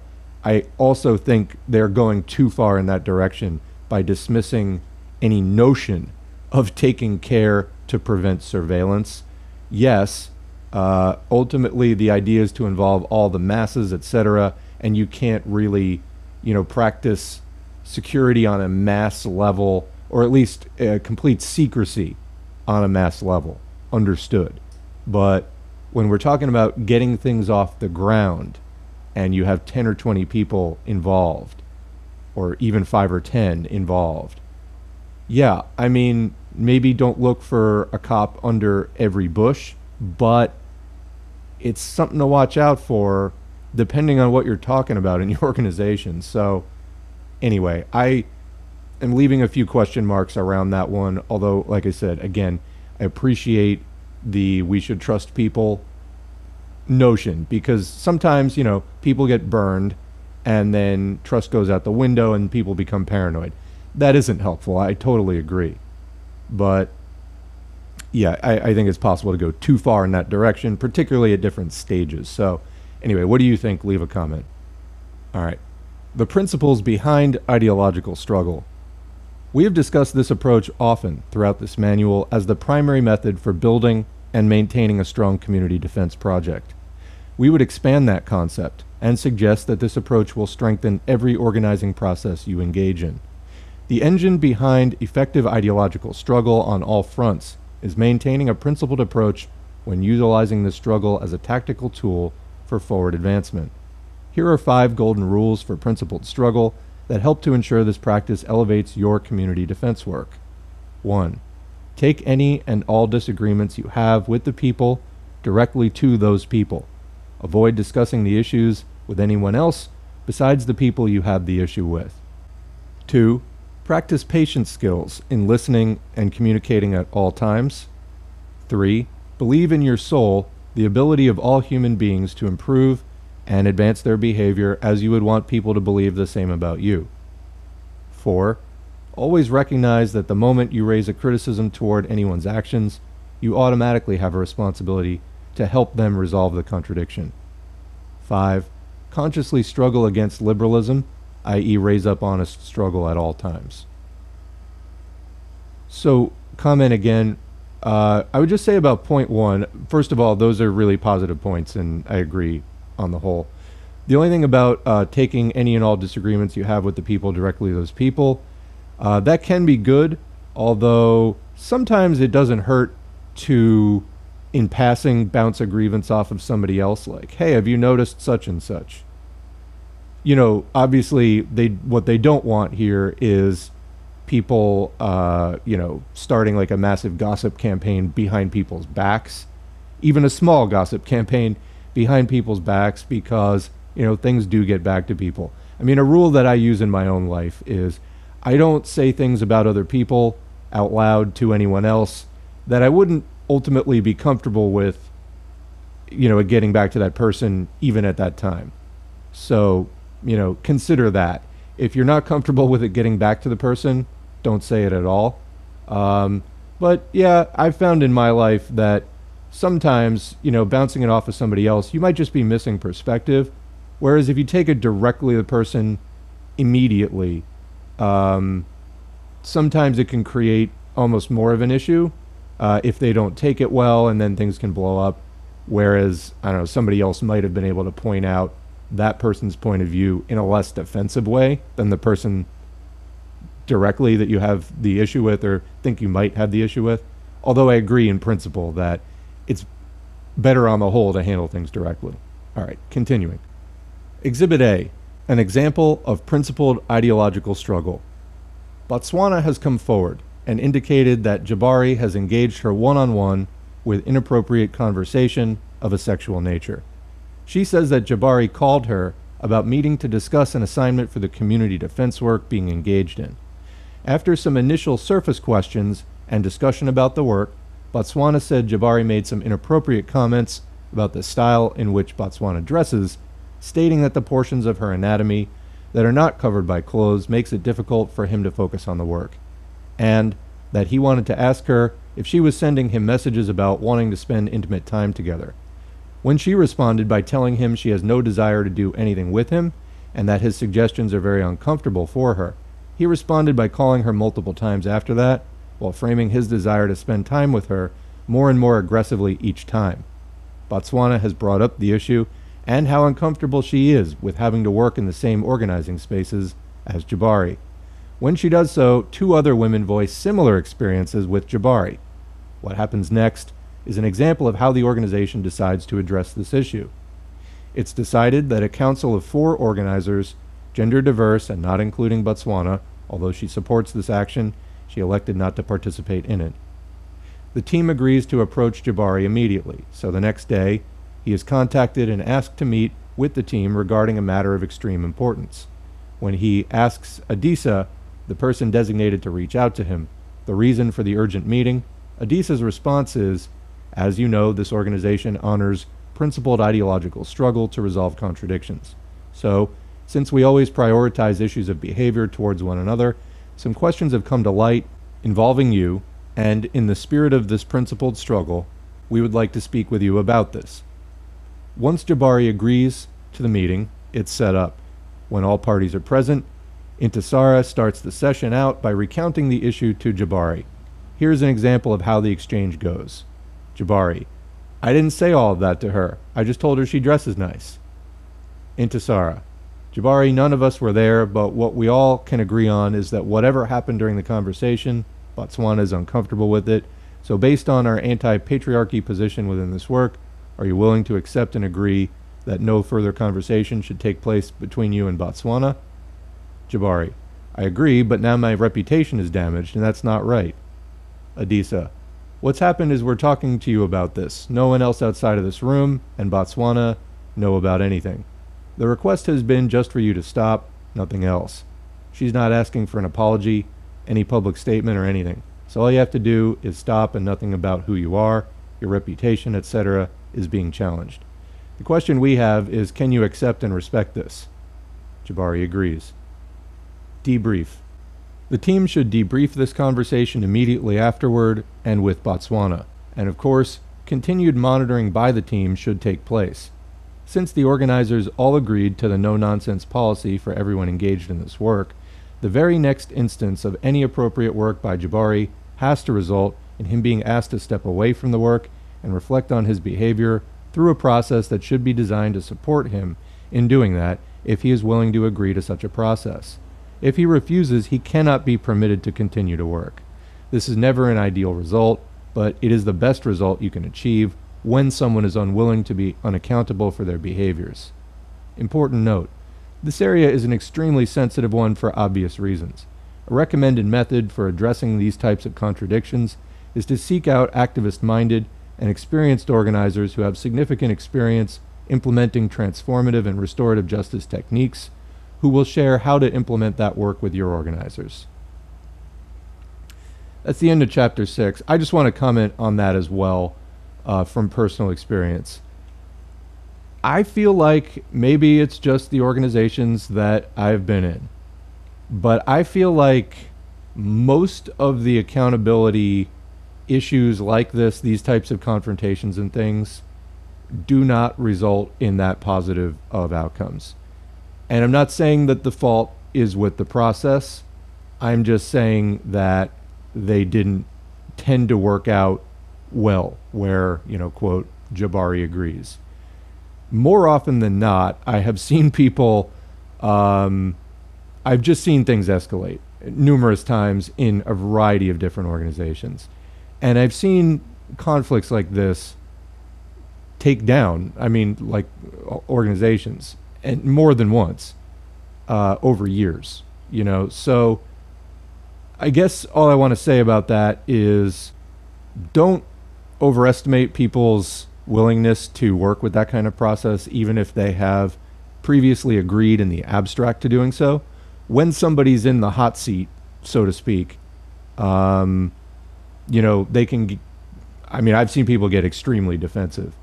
And also, sometimes when people implement these processes, they're not always done in the most compassionate way, as in this example. Like, things were very straightforward in the example that they gave. Um, sometimes things can get pretty messy with even a single word or two really throwing somebody off or getting somebody's defenses up. And um, all I'm saying is that I think that people in general uh, need to be better about their willingness to engage in these processes so that when there is a problem, you know, they can be resolved swiftly. Uh, but I've often seen that not actually work out so well in practice. Again, it's not a criticism of the process, just that I don't want people to have faith in the process to the point where they don't expect there to be problems ever. Um, I wish, in fact, that they had included an example of things getting more out of hand because that actually, to me, is more often the experience that I've actually seen. I'm not prepared right now to give you an alternative, you know, case illustration.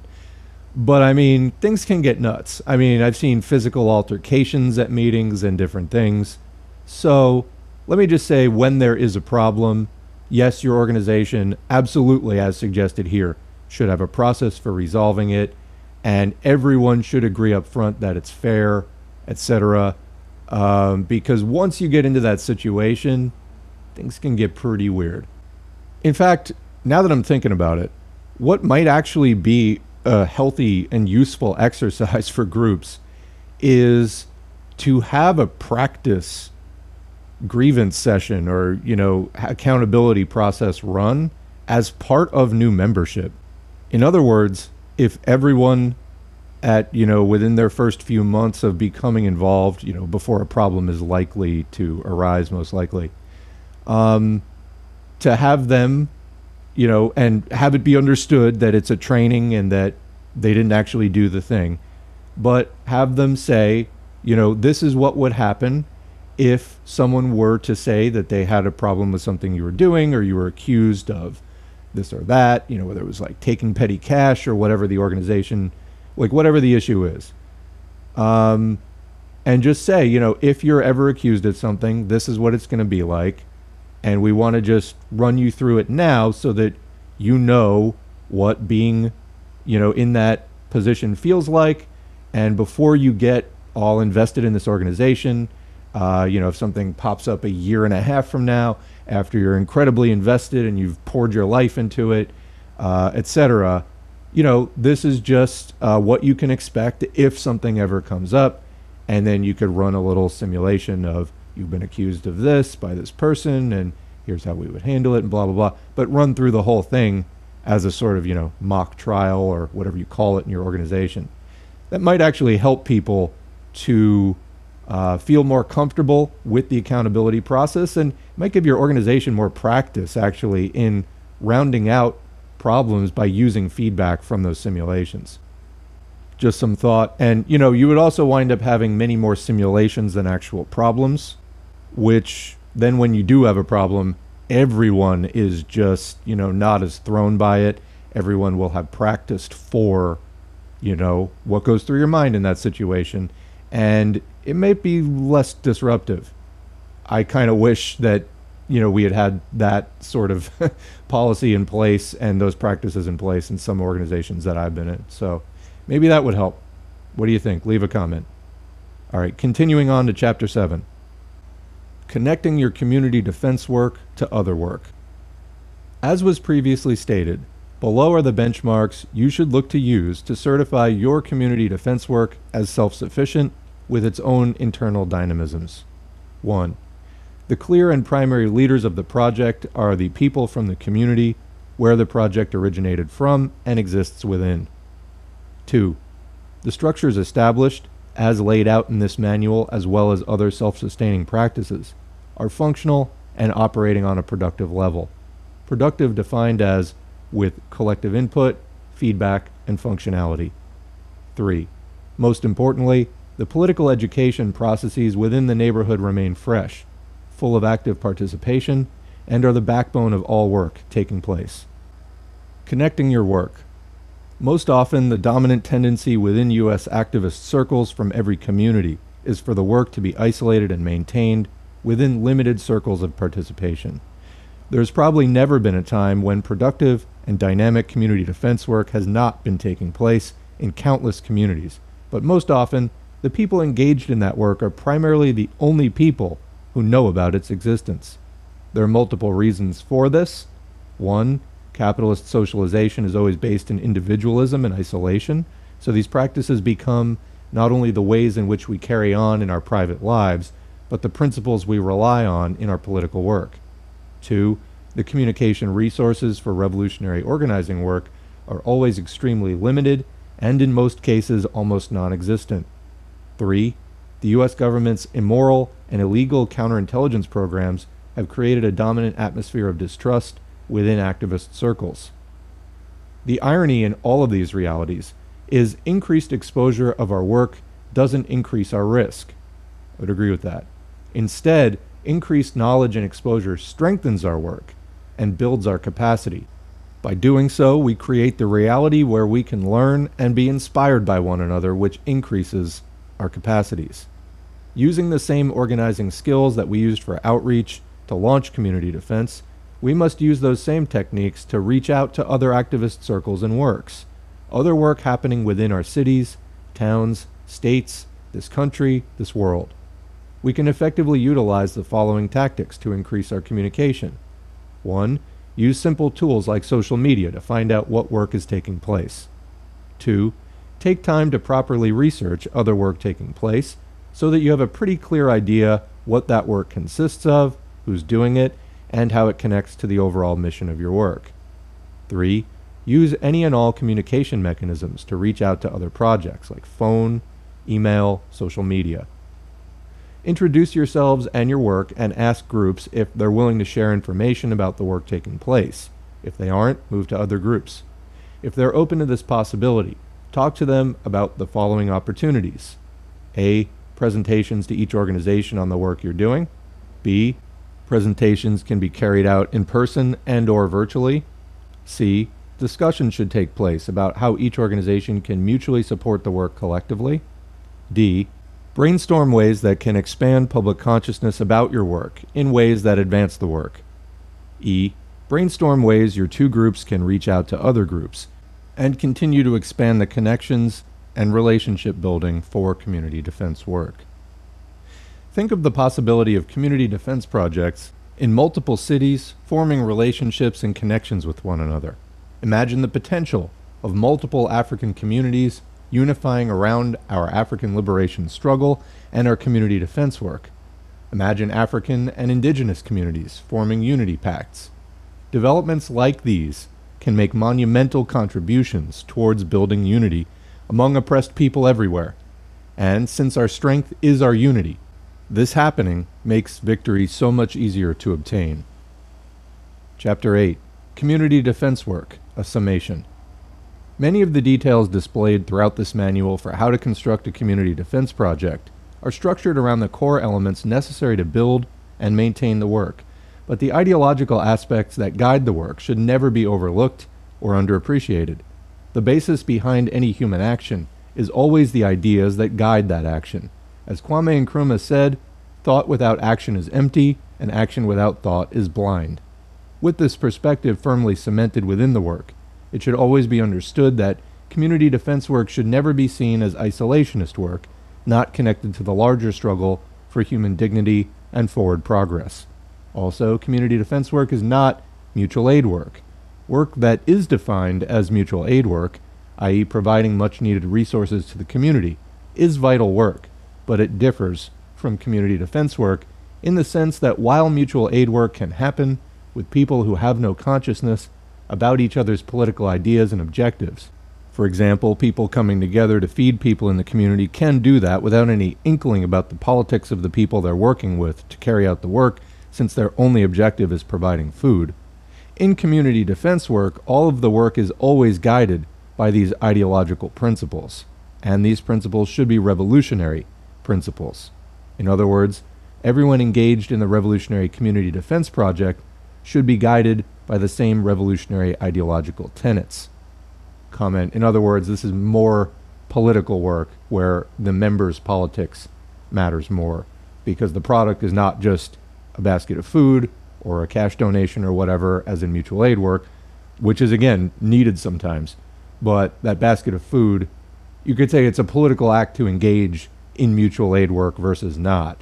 But you know, forming that bucket brigade of resources doesn't really matter so much what the other people's politics are per se, as long as the stuff gets there. Anyway, continuing, this is important because a community defense project designed around creating greater community safety is a project where police are unquestionably seen as the enemy of the community. This is a revolutionary position rooted in people power and police abolition. Any effort to remove revolutionary politics from community defense work can result in the work becoming defanged by reformist attacks against its intent. Police abolition becomes police reform, and your community defense project can easily turn into another bourgeois police community process, where the community is unwittingly turned into snitches for the police, which disempowers the masses while strengthening the state and police. The only way to prevent this type of community co optation is for the work to stay firmly rooted in revolutionary political education, using the example of community safety. With a revolutionary political education focus, this work is only one component in a broader effort to organize people, not just to abolish police, but to do so in the context of creating a revolutionary society where people organize the state to represent people's interests instead of repressing them. In the case of the objective behind this manual, it's specifically to organize community defense efforts across the U.S as a part of our worldwide revolutionary Pan Africanist work. As we advance that work, the idea is that we gain an advantage in the political ideology arena in Africa. From this, we can hopefully begin to contribute to the mass uprisings happening in Africa today. Millions of Africans all over the African continent continue to rise up and protest everything from worker exploitation to homophobia to police terrorism to neocolonialist corruption. Most of that is spontaneous and the protests in Nigeria, Kenya, the Congo, Algeria, Zimbabwe, etc., are not organized in conjunction with one another.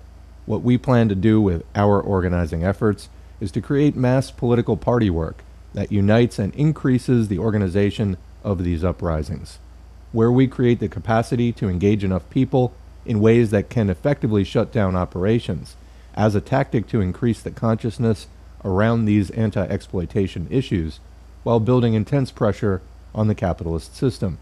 While this is happening throughout Africa, the value of community defense work throughout the US and Europe, the Caribbean, Canada, Australia, and Central and South America and Asia is that for community defense to serve, using the Pan African struggle as an example, as the U.S. branch for that Pan African struggle.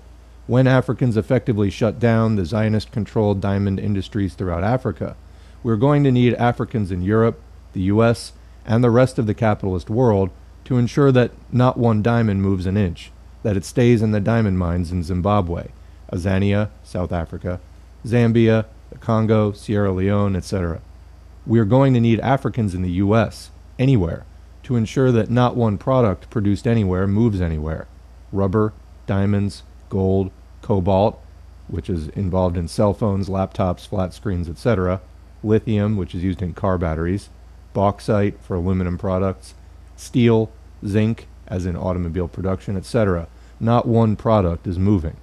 The community defense projects, designed to organize communities, is done with the intent through the political education program as well as the practical work, which will help the participants realize how powerful and effective they can be, to move those participants beyond just the focus on the neighborhood where they live, but to the world that produces the conditions that shape their neighborhoods.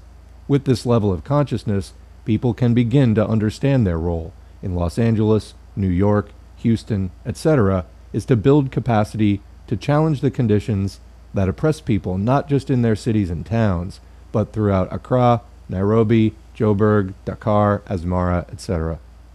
With this vision, community defense work is done on a neighborhood level with the intent of building a worldwide vehicle for systemic change. This gives life to the cliche think globally, act locally. Here's to the sincere hope that this manual can contribute to organizing efforts all throughout the African diaspora in the U.S., as well as encouraging the production of similar manuals for organizing efforts in Europe, Canada, the Caribbean, Central, and South America, and the rest of the world.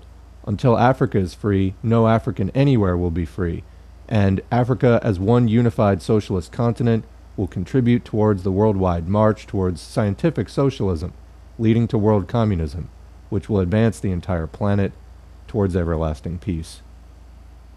So that's the end of the audiobook. A little over two hours here. Hopefully, this was interesting to you. I think for people who have never been involved in organizations in particular, probably this was some new information and new ideas. I really encourage people to get involved in organizations. Obviously, this particular manual is about Pan Africanism, and of course, they also encourage other communities to form similar community defense organizations, etc. Uh, I think that this was a really good read. We're going to be doing more Pan Africanist materials here at Socialism for All.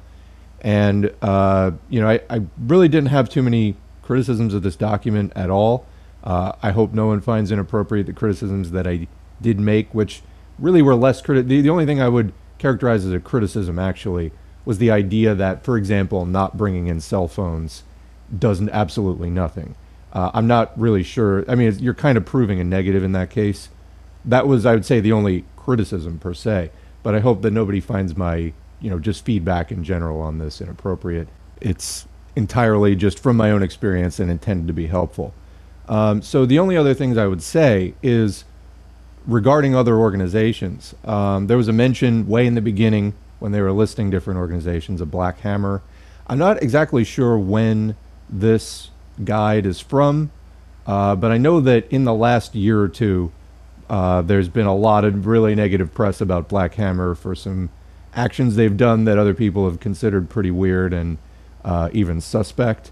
Not to single them out too much, but they're kind of the only one on the list that stands out to me as uh, having gotten that kind of reputation. So it seems to be a fairly um, recently published pamphlet. But um, anyway, I would encourage people to check out all of those different organizations. Obviously, I can't vouch for all of them uh, personally, but anytime that you see a list of organizations or activists to check out, running down those leads can take you to some really interesting places you know, you can get real familiar with where your current research and experiences have taken you. Sometimes just taking that list of a rec- you know recommended list of organizations or activist leader names and running them down, even if you're totally unfamiliar, can take you into some really helpful but unknown places that you know maybe you would just not go to otherwise, or it might take you five or ten years otherwise to stumble onto them more organically. So that can definitely be uh, really helpful. So I endorse that as a general process of trying to expand your horizons. The other thing I would mention organization wise is what they say there at the end about not letting your community defense project become co-opted and you know turn into some other you know police auxiliary. That's the insistence on revolutionary politics that rejects the capitalist state and that's sort of why you're doing it in the first place. This is why. One of the things that I insist on this channel is that the fundamental task of the US left is to break completely with the Democratic Party and with all capitalist political parties Democrat, GOP, Libertarian, whatever else. Um, the only one I can vaguely support is the Green Party, uh, although there's you know a left wing of the Green Party and more of a you know hippie capitalist wing or side of the Green Party as well. So you know be aware of what you're getting into. But the idea there is that not necessarily that, you know, joining uh, PSL or like voting for the green candidate or whatever it is is going to spontaneously result in socialism. But the idea is that making networks and organizations of people, whatever they are, as long as they have, you know, meet certain criteria, certain ground rules, they're not corporate, they're not tied to the Democratic Party, etc.